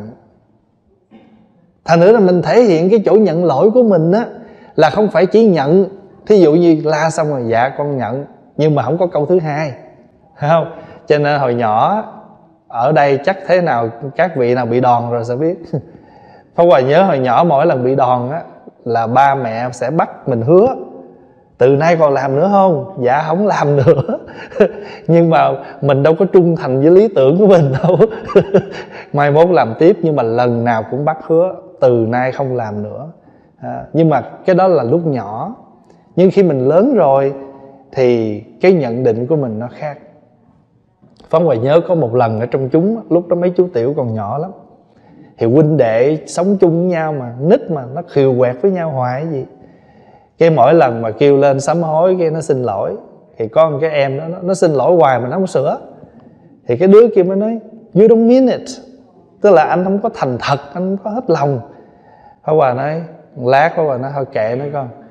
Dù mình biết nó không có mean it nhưng mà nó có nói lời xin lỗi là cũng mừng rồi. Có nhiều đứa nó cứng hơn nữa. Mà hồi nhỏ một chú mà làm sai là cả tất cả chúng bị phạt hết tại vì pháp hòa luôn luôn nói với mấy chú là mình là một đoàn thể. Nhớ là một người sai là ảnh hưởng chung. Cho nên đó đừng thí dụ như người ta khen mình mà người ta chê huynh đệ mình, đừng có mừng. Cái đó không có gì mừng hết á. Người ta chê huynh mình được ta chê đệ mình được là người ta chê mình được chứ gì đâu. Mà chẳng qua là hôm nay người ta chưa tới lúc thôi. Mình chắc mình sống tốt hết không? Mình sống mình chắc mình hài lòng người ta không? Hay là mình chỉ hài lòng người ta bữa nay mà ngày khác người ta không hài lòng? Cho nên một người một huynh một đệ nào mà đi nói xấu huynh đệ mình anh em mình là dở lắm. Vì người ta sẽ nói trời ơi cái câu mà anh em như thể tay chân chặt lất. Nó đâu có sống theo cái thể hiện đó đâu. À, anh em như thể tay chân đâu đúng? Chị đi nói xấu em mà anh đi nói xấu uh, em mình mà em mình đi nói xấu ông mà anh mà đâu có đúng cho nên Pháp Hòa nhớ có một lần á thầy, thầy viện chủ dạy Pháp Hòa như thế này.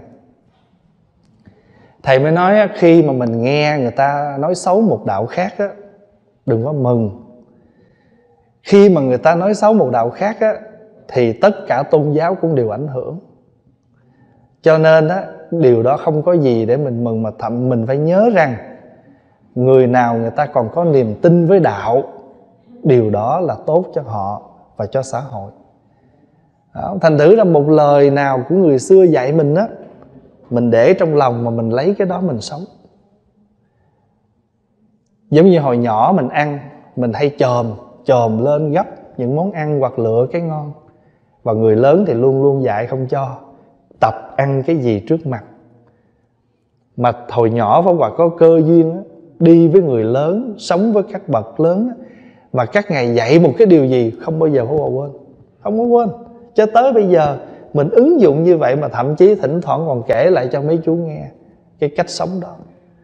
Cho nên đó thưa đại chúng phẩm này rất hay. À, qua một câu một rất đơn giản nhưng mà có rất nhiều việc để chúng ta có thể mổ xẻ và học hỏi từ những câu này. Còn rất nhiều những câu chuyện gọi là chỉ lỗi nhận lỗi và sửa lỗi. Có ba điều mình có nhiều khi mình phải chỉ lỗi cho người. Nhưng mà chỉ lỗi để là không phải mình, gọi là gì? Vạch lá tìm sâu. Không phải vậy mà chúng ta thấy cái điều đó không đúng, mình cần chỉnh để cho cái cái cái chung này nó tốt hơn. Có ai mà muốn con mình dở đâu. Cho nên thấy con mình cái gì không đúng thì phải sửa.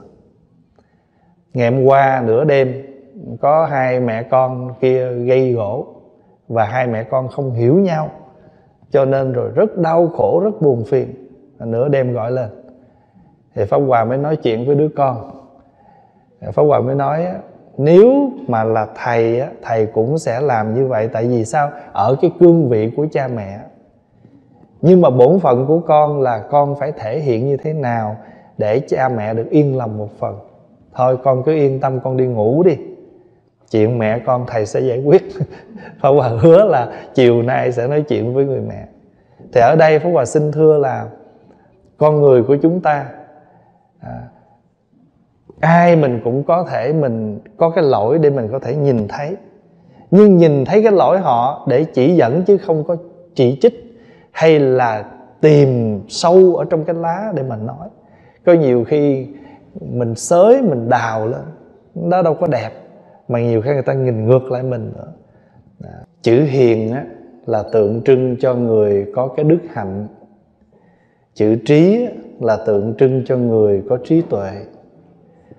Người có trí tuệ mà sử dụng trí tuệ để đi làm tác hại cho người hay là ý mình có tài có trí mà lấn áp người thì chưa phải là bậc hiền. Có tài mà dụng cái tài đúng mà thậm chí rất khiêm cung.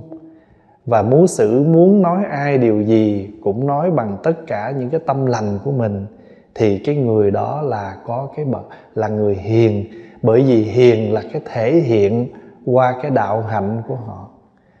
Thí dụ như mình thông minh, mình giỏi, nhưng mình nói như thế nào mà để cho người ta không có buồn, người ta không có bị tổn thương thì đúng mới là bậc hiền trí.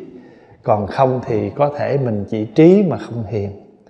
Bởi vì mình có tài mình có cái sự thông minh mà ở đời quan trọng nhất là cái hạnh đức.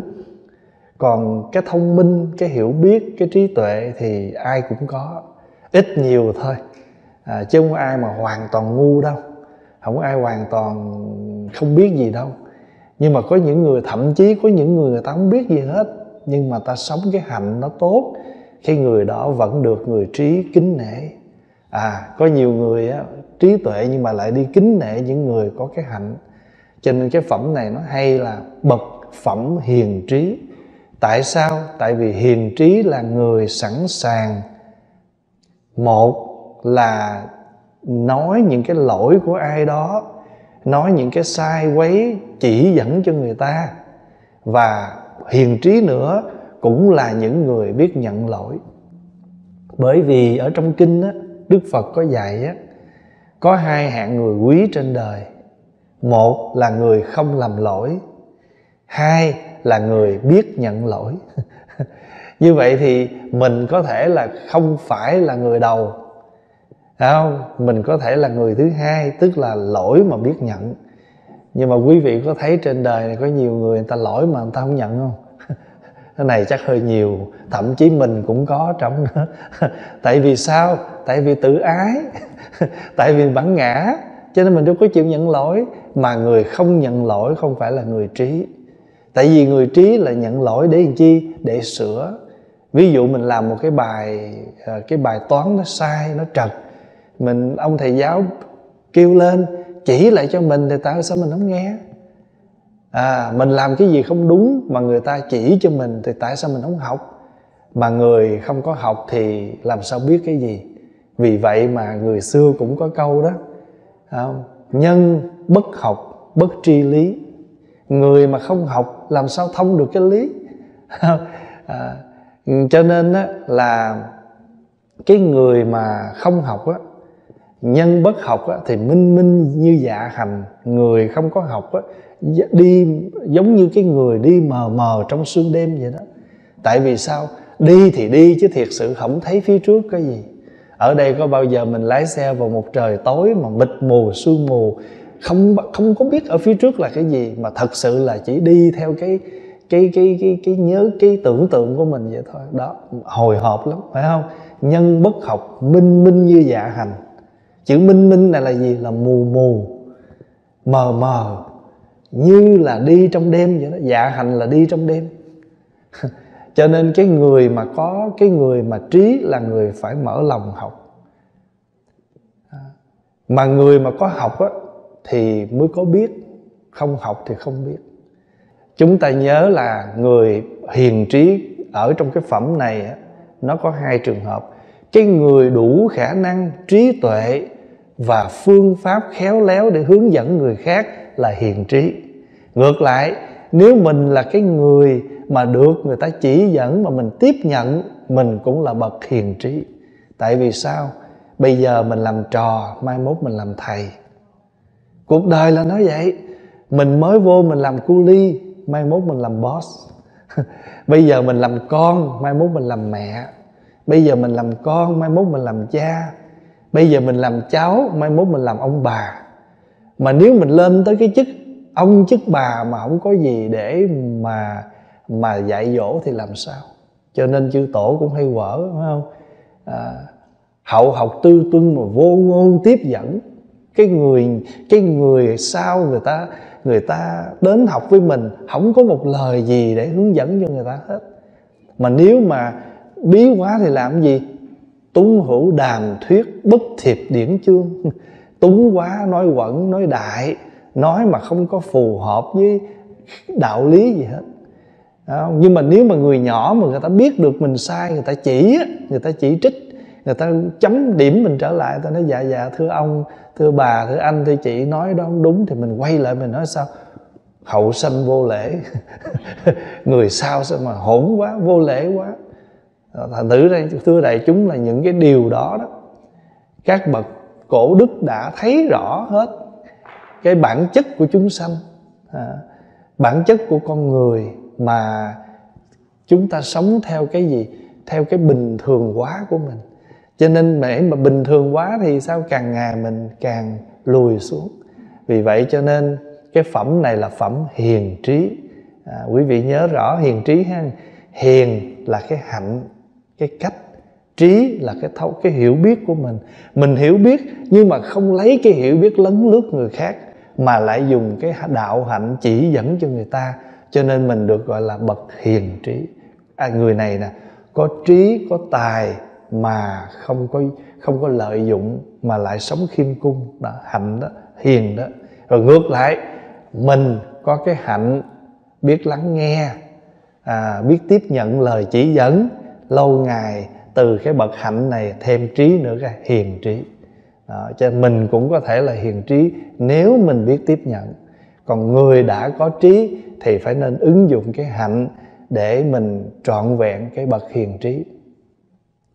Thường thường người ta nghe mình đó, nó có hai cách nghe.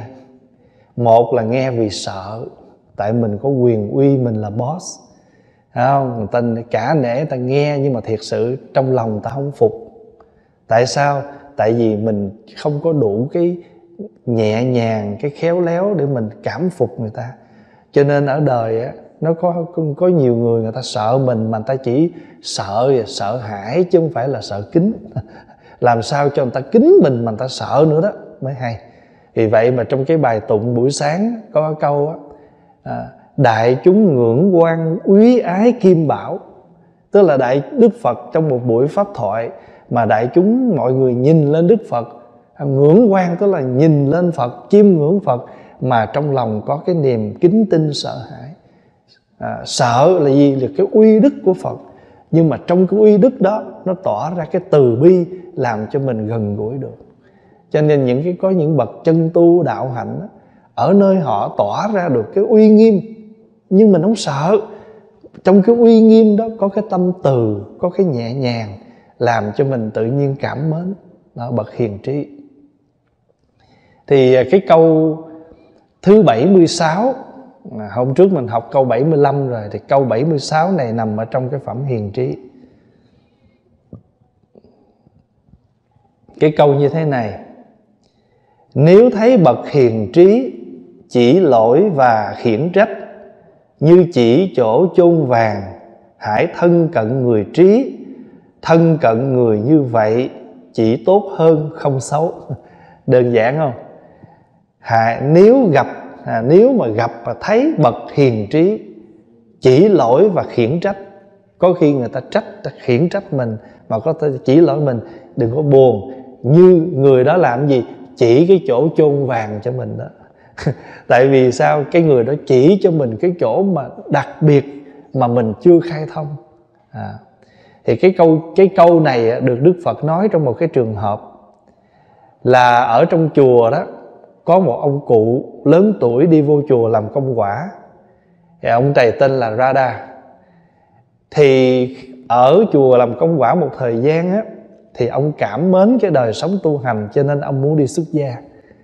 Nhưng mà ngài ngài xá lợi phất không có nhận, bởi vì thấy ông già quá, sợ ông không có không có tu được, chịu cực được, và nhất là gì? Khó hướng dẫn. Tại sao, thưa đại chúng? Tại vì người lớn tuổi, này mình nói chung nha, người lớn tuổi thường hay có cái chấp trước của mình. Tôi là đúng, tôi ăn cơm nhiều hơn anh, thì tôi ăn muối nhiều hơn anh ăn cơm. Có nhiều khi nói là sao? Hồi tôi sanh ra đó tôi hồi tôi còn tôi làm cái này không biết anh còn ở đâu. Tức là mình có nhiều cách để mình nghĩ rằng cái người trẻ kia không bằng mình. Và đồng thời á, mình vô chùa mình mặc dù mình thấy cái người kia trẻ nhưng mà mình nghĩ rằng mình lớn tuổi hơn. Mình có cái mình có cái đạo hơn mình có cái hiểu biết nhiều hơn cho nên khó tiếp nhận lắm. Cho nên ngài xá lợi phất không có chịu nhận cái ông ông cụ ra đa này đi tu. Đức phật biết được việc đó nhưng mà đức phật tới gặp ông thì đức phật quán thấy rằng à, ông này có khả năng chuyển hóa có khả năng chuyển hóa. Cho nên đức phật nói với ngài ngài ngài xá lợi phất tại sao thầy không nhận? Nói dạ tại vì con thấy ông lớn tuổi và có lẽ hơi khó dạy. Đức phật nói không thầy nhận đi. À, nhận đi rồi bây giờ mình coi như mình đền ơn cho ông đi. Tại vì xưa giờ ông ở chùa ông công quả phải không mình nhận ơn của ông rồi. Thôi bây giờ mình thể hiện sự biết ơn. Mình tiếp độ cho ông tu rồi mình hướng dẫn cho ông. Thì thật không ngờ khi mà đưa ông vào tu á thì ông rất là dễ dạy rất là dễ hướng dẫn. Cho nên một thời gian không có lâu ông được chứng quả. Thì khi mà cái câu chuyện này á, được à, à, đức phật hỏi thăm rồi các thầy nói cho phật nghe đó thì phật mới nói như thế này. Cái người cái ông cụ ra ra này á là một cái người dễ dạy như vậy đó mà tu tập tốt mà dễ chứng quả như vậy đó không phải chỉ đời này đâu mà ông đã gieo trồng nhiều đời rồi. Nhưng mà cái duyên của cái kiếp người đời này á tu hơi buồn thôi nhưng mà cái sự ngộ đạo, cái sự mà ờ, ờ, học hành rất là nhanh chóng mà dễ dàng, thì đó ờ, cho nên đức phật mới nói nếu thấy bậc hiền trí chỉ lỗi và khiển trách như chỉ chỗ chôn vàng, hãy thân cận người trí. Vì sao? Thân cận người như vậy chỉ tốt hơn không có xấu tại vì sao? Tại mình gần cái người mà có hiểu biết, nói theo bình thường là gì? Gần đèn. Gần đèn thì phải sáng thôi. Chỉ có khi nào mình gần mực nó mới đen. Cho nên gần đèn thì sáng. Ngày xưa có cái câu như thế này. Hoàng kim thiên lượng vị vi quý. Đắc nhân nhất ngữ thắng thiên kim. Hoàng kim thiên lượng tức là có được một ngàn lượng vàng chưa chắc đã quý vị vi quý. Và hoàng kim thiên lượng vị vi quý chưa chắc đã là quý. À, nhưng mà đắc nhân nhất ngữ thắng thiên kim được người nào đó chỉ nói cho mình một câu hay quý hơn ngàn vàng. À thì cái câu đó mình dịch là vàng rồng ngàn lượng chưa là quý. Được một lời hay gấp ngàn vàng. Được một ngàn vàng mình có và, và vàng rồng mà ngàn lượng chưa là quý. Tại vì ngàn lượng vàng để trong tủ ngàn lượng vàng nhiều khi nó còn nguy hại nữa. Nhưng mà nếu mình được một lời hay mà mình theo cái lời hay đó mà mình phát triển lên cuộc đời mình khác đổi lắm mà. Khác lắm mà. Nhiều khi có tiền, có thể thay đổi mình á, một là mình xấu hơn, tại vì mình tham, hoặc là vì, bị cướp, bị giật, vân vân. Nhưng mà cái lời nói, cái lời hay, ý đẹp ở trong tâm mình á, mà mình sống với nó thì mỗi ngày mình phát triển lên, đẹp lên, mà người khác nhìn mình, người ta thương quý, mà mình còn truyền dạy nữa. Cho nên, hoàng, kim, thiên, lượng, vị, quy, quý vàng rồng ngàn lượng chưa là quý. Đắc nhân nhất ngữ thắng thiên kim. À, được một lời hay gấp quý gấp ngàn vàng gấp ngàn lượng vàng. Ngày xưa có hai ông quan làm việc cho một ông vua. Thì một ông là quan văn một ông là quan võ. Thì cái ông quan văn á ổng tên là lan tương như còn cái ông quan võ đó, ông tên là liêm pha. Cái này là chuyện thời ờ, nước triệu, nước tần rồi vậy đó. Thì cái ông mà, cái ông quan văn đó là tương lăng như đó. Ông không có võ công, chỉ có văn chương thôi. Nhưng mà ông dùng cái cái lời nói của ông để mà đi luận nghị với các vua khác để mà giữ được yên bờ cõi. Còn cái ông quan tướng là ông liêm pha đó, ông giỏi lắm ông cũng chiến thắng được những cái quân địch ở bên ngoài. Thì ông liêm pha, ông coi thường cái ông quan văn là ông lan như đó. Vì ông nghĩ rằng á quan võ là bất quá là cái gì?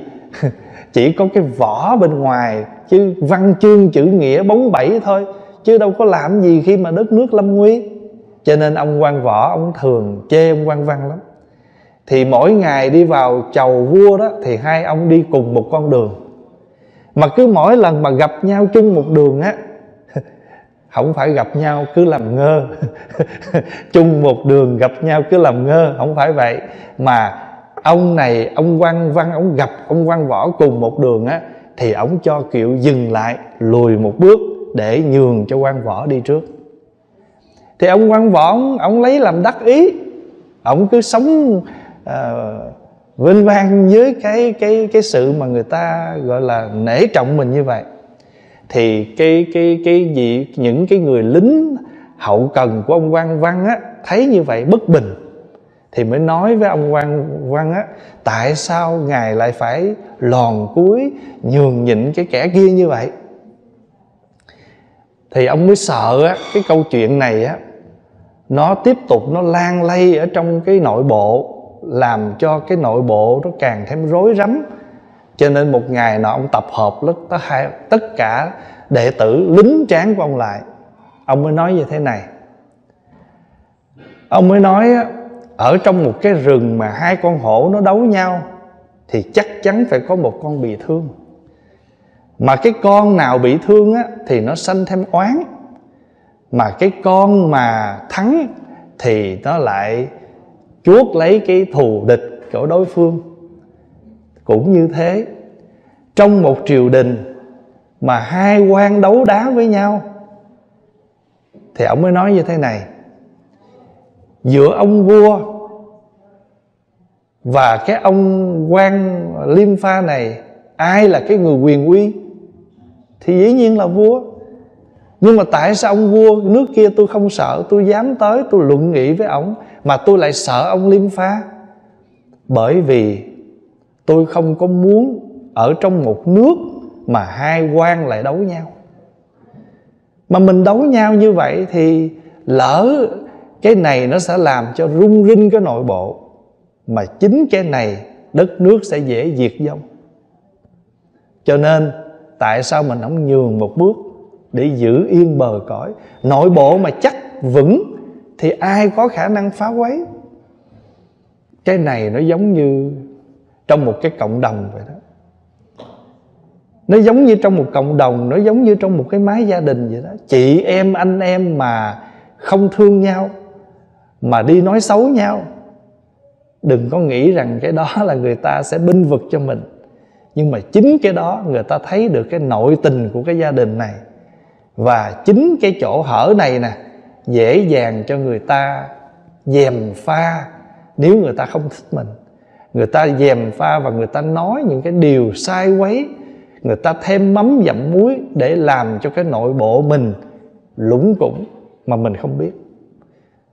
Cho nên ngày xưa có một ông vua đó, ông muốn sang quân đi đánh giặc đó vua vua, thì lúc đó ông đó đang ngồi với đức phật. Nó bẩm hoàng thượng mình chuẩn bị đi đánh cái cái đất nước kế bên. Thì ông vua ông mới xây qua, ông hỏi đức phật, chẳng có nên đi đánh cái nước đó không? Thì đức phật có hỏi ngài a nan, thầy a nan, đất nước đó giữa vua và dân có đồng lòng không? Ngài a nan nói dạ bạch đức thế tôn, đất nước đó dân và vua rất đồng lòng đức phật nói, ồ, nếu vậy thì đừng ai hòng mà đánh nước đó. Đức phật không trả lời thẳng ông vua, mà đức phật hỏi ông vua bảy, hỏi ngạ nan bảy câu hỏi. Thì Ngạ Nang nan đều trả lời hết, thì đức phật mới nói, ồ, bảy điều này mà đất nước này còn giữ được thì đừng hòng ai mà đánh phá. Đức phật không trả lời thẳng với ông vua nha. Vậy mà ông nghe xong câu chuyện đó rồi, ông xoay qua ông quan khanh hãy cho tất cả lui về, đừng chiến tranh nữa. Tại vì sao? Tại vì mỗi một lâu lâu quan dân còn ngồi lại với nhau, thì làm gì có sự lũng cúng. thì trở lại câu chuyện. Thì ông ông à, ông quan võ đó, ông nói với mọi người rằng á, ta ta không sợ cá nhân của ông ông quan võ kia. Mà ta chỉ sợ, ta chỉ sợ cái gì? Ta chỉ sợ cái nguy cơ của đất nước. Cái này mới quan trọng. Cái cái, giống như pháp hòa nói, ví dụ đi. Bây giờ bây giờ trong trong trong một cái gia đình hay là trong chùa thì có hai người, họ họ lấn cấn với nhau. Sợ cá nhân với nhau. Tại sao mình lại không nghĩ đến cái cái tập thể với nhau? Cái cá nhân là gì đâu? Phải không? Cho nên khi nói câu đó rồi á thì thưa đại chúng mình thắng ngàn quân ở ngoài bãi chiến trường á, không bằng mình thắng được cái bản ngã của mình. Cái bản ngã là gì? Là cái tôi á. Tôi hay tôi giỏi tôi là người lớn tôi là anh hai, tôi là chị hai, tôi là thế này, thế kia, mà tôi là cái gì đâu? Nếu nói cho đúng, càng lớn phải càng có trách nhiệm. Càng lớn phải càng thể hiện. Thể hiện cái tốt chứ không thể hiện cái xấu. Tại vì người người nhỏ đó, họ nhìn lên. Tiếng mỹ thường thường nó hay nói vậy đó. Thí dụ như nó, I look up on you. Tức là người ta nhìn lên mình để người ta sống đó mà người lớn mà mình ở trên mà hạ mà bất cái gì, hạ bất nghiêm hạ bất chánh thể dưới này tất loạn. Ở trên mà không không có không có không có ngay thẳng thể dưới này sao nó thẳng ngay? Cho nên qua cái câu chuyện đó đó, thì cái cái chuyện này đó, ông, cái ông quan võ văn, ông dạy cho cho lính của ông như vậy đó. Tôi không sợ cá nhân ông liêm pha mà tôi chỉ sợ nguy cơ cho đất nước. Nếu hai quan ở trong triều mà đấu đá với nhau, thì đất nước này sẽ dễ dàng bị những cái thế lực khác xen vào và làm nguy cơ cho đất nước. Câu chuyện này, nó lan sao cuối cùng, lan tới ông quan võ là ông liêm pha. Thì quý vị biết ông liêm pha xử làm sao không? Ông nghe được cái đó, trong lòng hối hận gọi là xấu hổ vô cùng. Tự thân ở trần, đi bộ từ ở nhà tới trước cửa nhà của ông quan võ, quỳ xuống. Xin người hãy đánh tôi. Đánh tôi đi. Tại vì tôi là một quan đồng lưu với nhau, nhưng mà cái tâm sống, cái cách sống của tôi dở quá.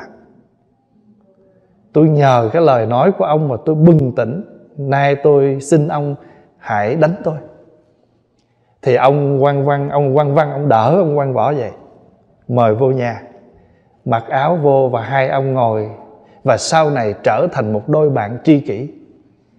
Và câu chuyện này còn ghi chép lại để cho tất cả những ai mà sống chung, mà không có biết cái chung, mà cứ gì cái tư lợi thì hãy nghe câu chuyện này. Mình cứ sống với cái cá nhân của mình. Cá nhân mình là gì? Mình là một, cá nhân mình là một phần của tập thể. Bây giờ thưa với đại chúng một cái đỉnh, một cái đỉnh nhang ba ba chân nè, mà chỉ cần gãy một chân thôi, tao không thích mày. Dạt nó ra, thì cái chân này nó làm sao? Nó cũng sẽ đổ chứ làm sao mà nó nghiêng được. Thành thử ra cái cái đỉnh lư nó ba chân thì đủ phải ba chân thậm chí nó gặp gờn còn phải lấy đồ chêm mà, để cho nó vững mà. Cho nên mình thấy cái người, một trong những cái chúng, người, cái người sống trong nhà mình họ khiếm khuyết. Mình còn kiếm giấy hay cái gì mình mình chêm vô để cho nó vững mà. Chứ có đâu mà để cho nó gặp gền nhìn chơi. Chứ có đâu mà kiếm cách, nghĩa là chặt nó luôn đi để mà bữa nào quý vị nên học cái câu chuyện à, con con à, con kiến nó nó nó nó kiện con rận. Những cái câu chuyện đó hay vô cùng. Nhưng mà tại mình không có thời giờ, cho nên kể không hết. Hồi nhỏ và đi học á, lúc nào trong giỏ phó hòa cũng có cái cuốn gọi là cổ học tinh hoa. Phó hòa thích cuốn đó lắm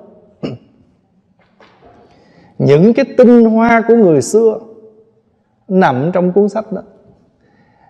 Có cái biết chì nghe, đọc tới đâu khoanh gạch đích rồi nói rồi ghi cái đại ý của câu chuyện rồi nói cái gì. Để lâu lâu mình dở ra mình cần ôn cái gì mình nhớ. Đâu phải để khoe khoang nhớ để làm gì để nhắc mình. Rồi thí dụ như có cơ hội chia sẻ cái gì mình nói để người ta cùng học. Ở trong kinh uh, soi gương á cái kinh soi gương nó còn có một cái tên nguyên thủy là kinh tư lượng. Tư tức là tư duy lượng tức là so sánh lượng so lượng. Mình phải suy nghĩ và mình so lượng. Tại làm sao? Không ai thương mình hết trơn vậy tại làm sao ai cũng xa lánh mình vậy? Đức phật đưa ra mấy điều, nhiều lắm, mười mấy điều lắm trong đó có một điều là gì? Tôi xin các bạn đồng tu hãy chuyện trò với tôi, hãy nói chuyện với tôi. Vì nguyên do nào, những đức tính nào mà một người đó được mọi người xa lánh? Vì người đó dễ nổi giận. Và người đó vì giận mà hiềm hận vì hiềm hận và nổi giận mà nói những lời khó nghe. Vì người đó không có khả năng tiếp nhận lỗi và thậm chí còn chỉ trích trở lại người chỉ cho mình lỗi mình đã phạm. Hoặc vị đó chất vấn trở lại, anh có hay gì hơn tôi? Đó là một cách chất vấn đó. Rồi còn anh sao? Bữa hôm anh làm vậy đó, sao anh không nói đi? Đó là chất vấn đó. những người như vậy thì không thể nào học hỏi gì được hết. Trong kinh nói đàng hoàng. Rồi ngược lại, vì sao một người được gọi là mọi người thích? Vì người đó biết tiếp nhận những lỗi. Người đó không có dễ nổi giận và không vì gì, không vì những cái hiềm giận đó mà nói những lời cấu kỉnh khó nghe. Và người đó luôn luôn không bao giờ chỉ trích những người đã chỉ cho mình lỗi mình đã phạm và người đó không bao giờ cứng đầu và tự cao. Đó là những cái chuyện mà đức phật nói trong kinh soi gương đó. Quý vị mở nhật tụng thiền môn ra. Còn muốn mở trong kinh nikaya, thì kinh gọi là kinh tư lượng. Tung tử có một câu như thế này. Người mà chỉ cái lỗi cho mình mà chỉ đúng, người đó là thầy mình vì sao? Mình làm sai mà người ta dám chỉ mà chỉ đúng mà không có nói bậy. Đó là thầy mình đó. Còn nếu mình làm hay, làm tốt mà người ta khen đúng mức, đó là bạn mình. Còn ngược lại, mình dở ẹt mà người đó cứ tấn mình lên. Kẻ thù của mình đó. Tại sao biết không? Tại vì mình dở mà họ không hề nói cho mình biết. Họ để cho mình sao?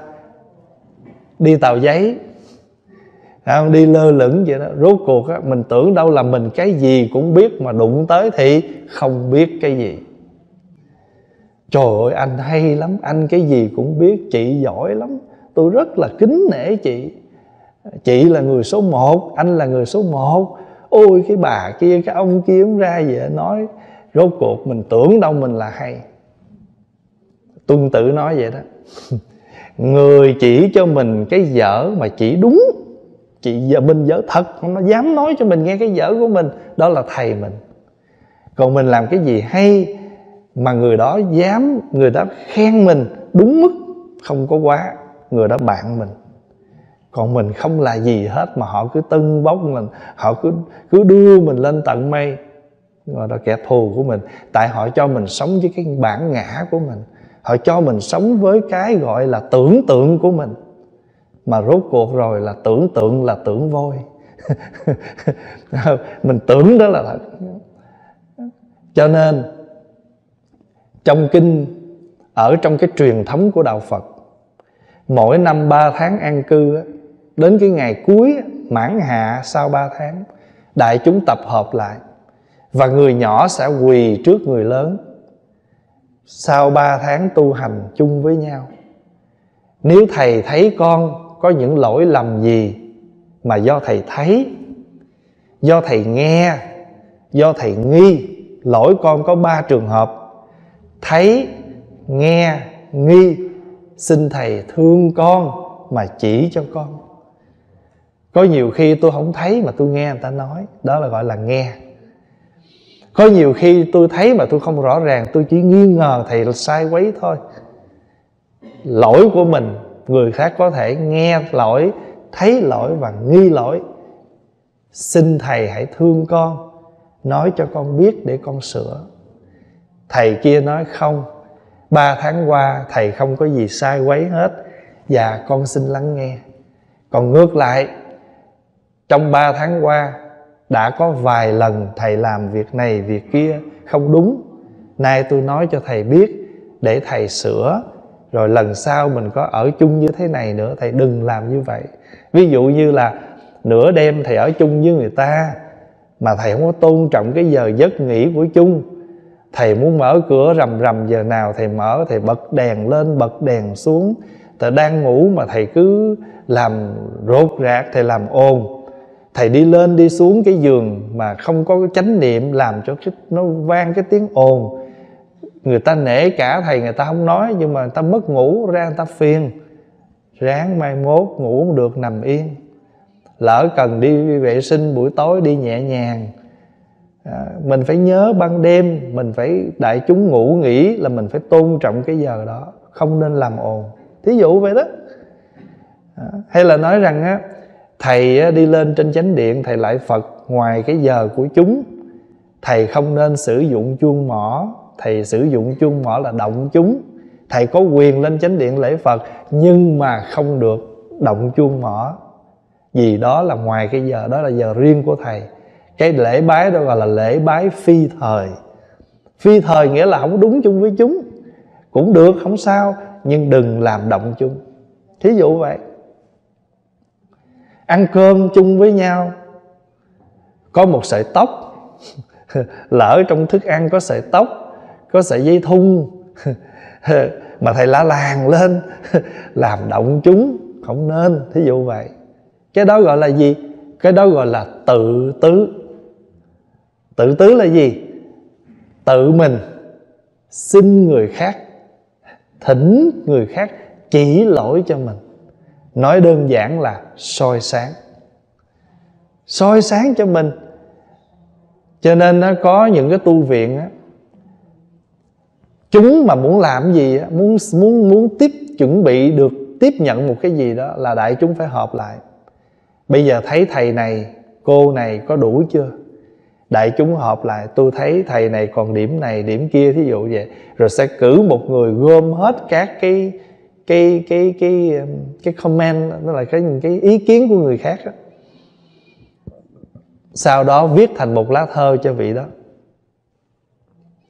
nhưng mà khi viết cái thơ chỉ lỗi người ta đó, cô cũng phải nhào vô là chửi người ta liền rồi nha. Phải tưới hoa trước.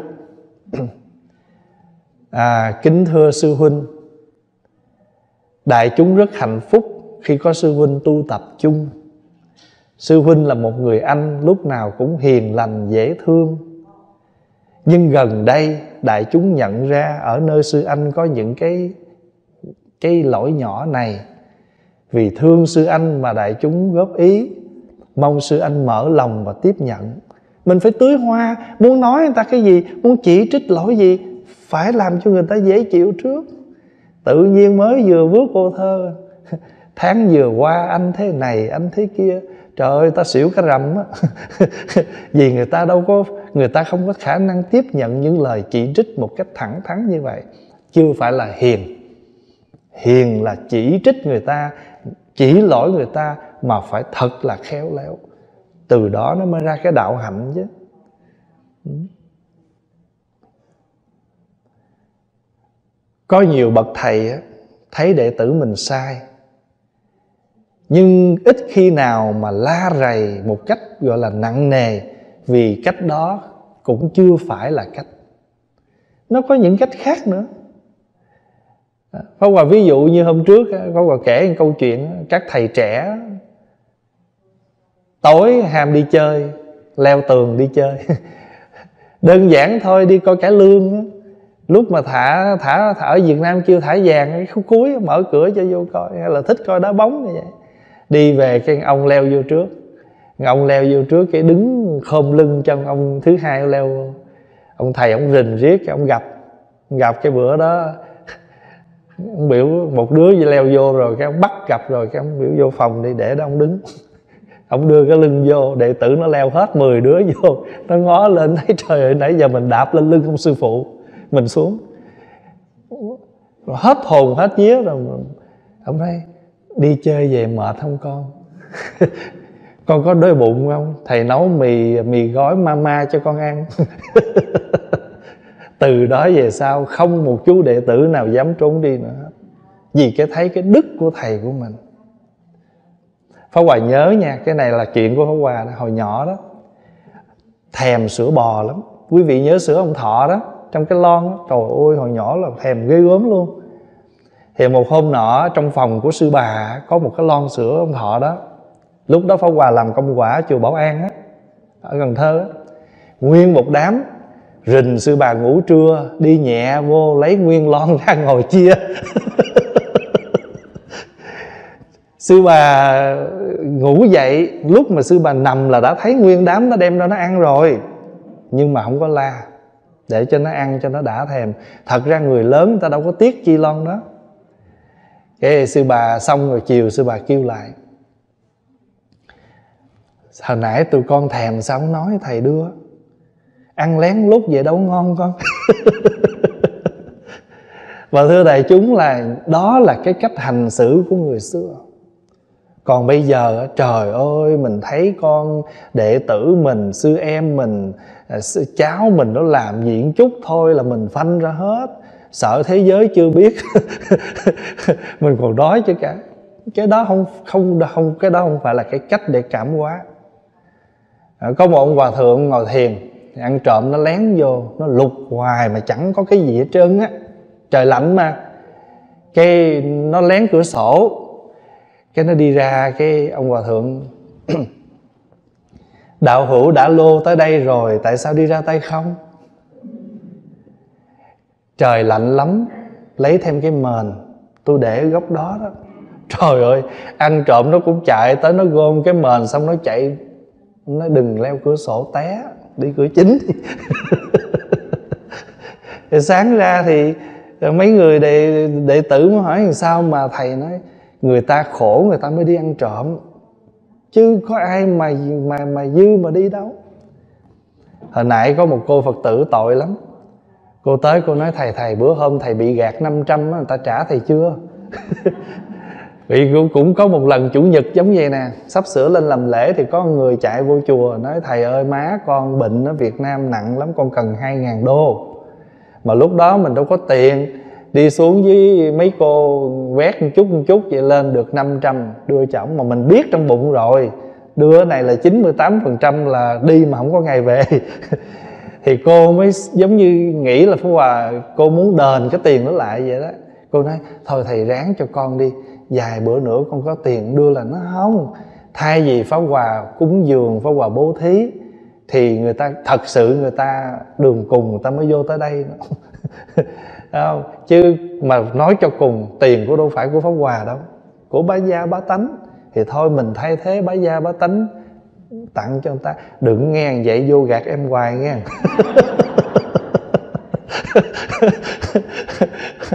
Ừ điện nước là em lo gần chết rồi. Ờ, thì ờ, thưa đại chúng là mình nói như vậy là để nói cái chữ hiền trí. Và cho nên cái người mà người ta, và cái người mà người ta có tàm quý sau khi nhận lỗi rồi không có tái phạm.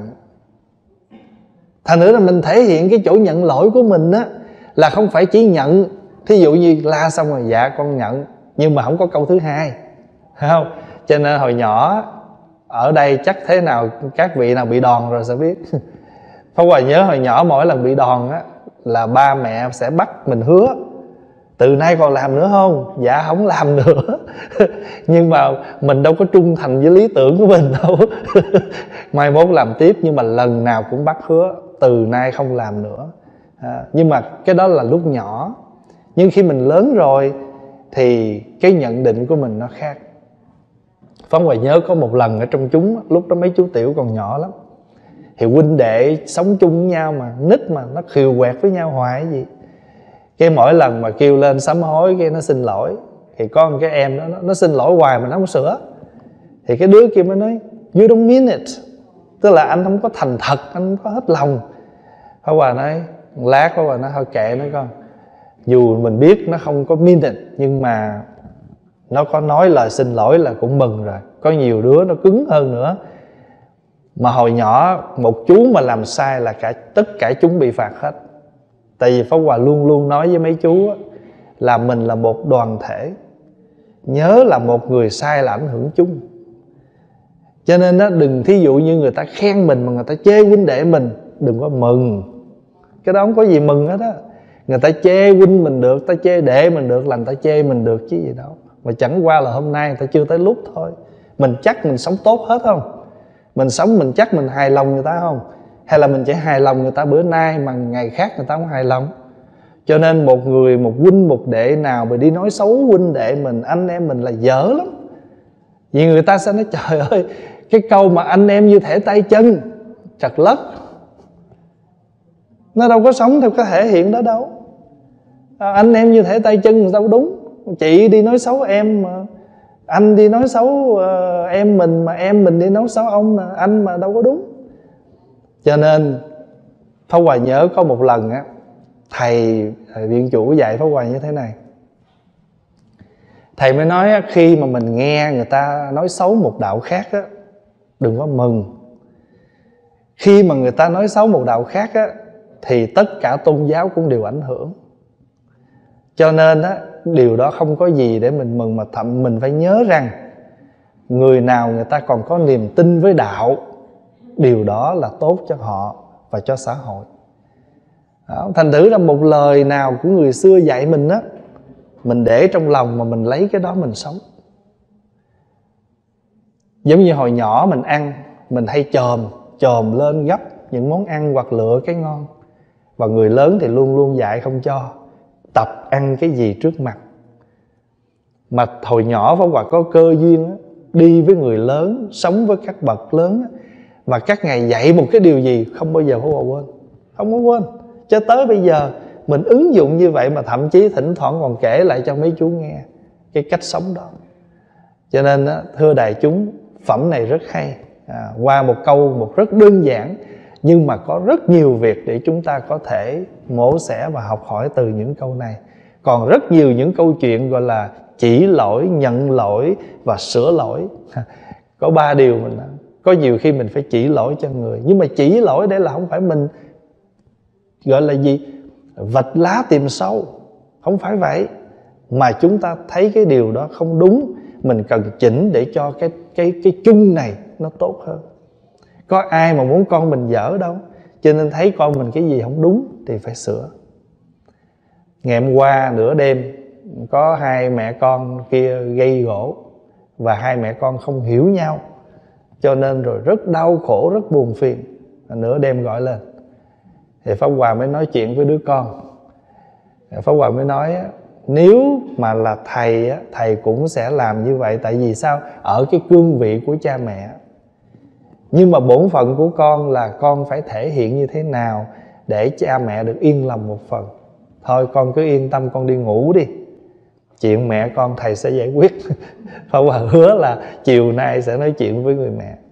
Thì ở đây Pháp Hòa xin thưa là con người của chúng ta à, ai mình cũng có thể mình có cái lỗi để mình có thể nhìn thấy. Nhưng nhìn thấy cái lỗi họ để chỉ dẫn chứ không có chỉ trích hay là tìm sâu ở trong cái lá để mà nói. Có nhiều khi mình xới mình đào lên nó đâu có đẹp mà nhiều khi người ta nhìn ngược lại mình nữa. Đó. thôi thì qua cái câu này Pháp Hòa chia sẻ với đại chúng một chút như vậy.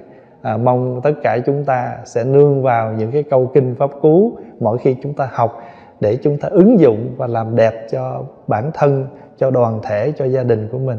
Chúc đại chúng an lạc cuối tuần.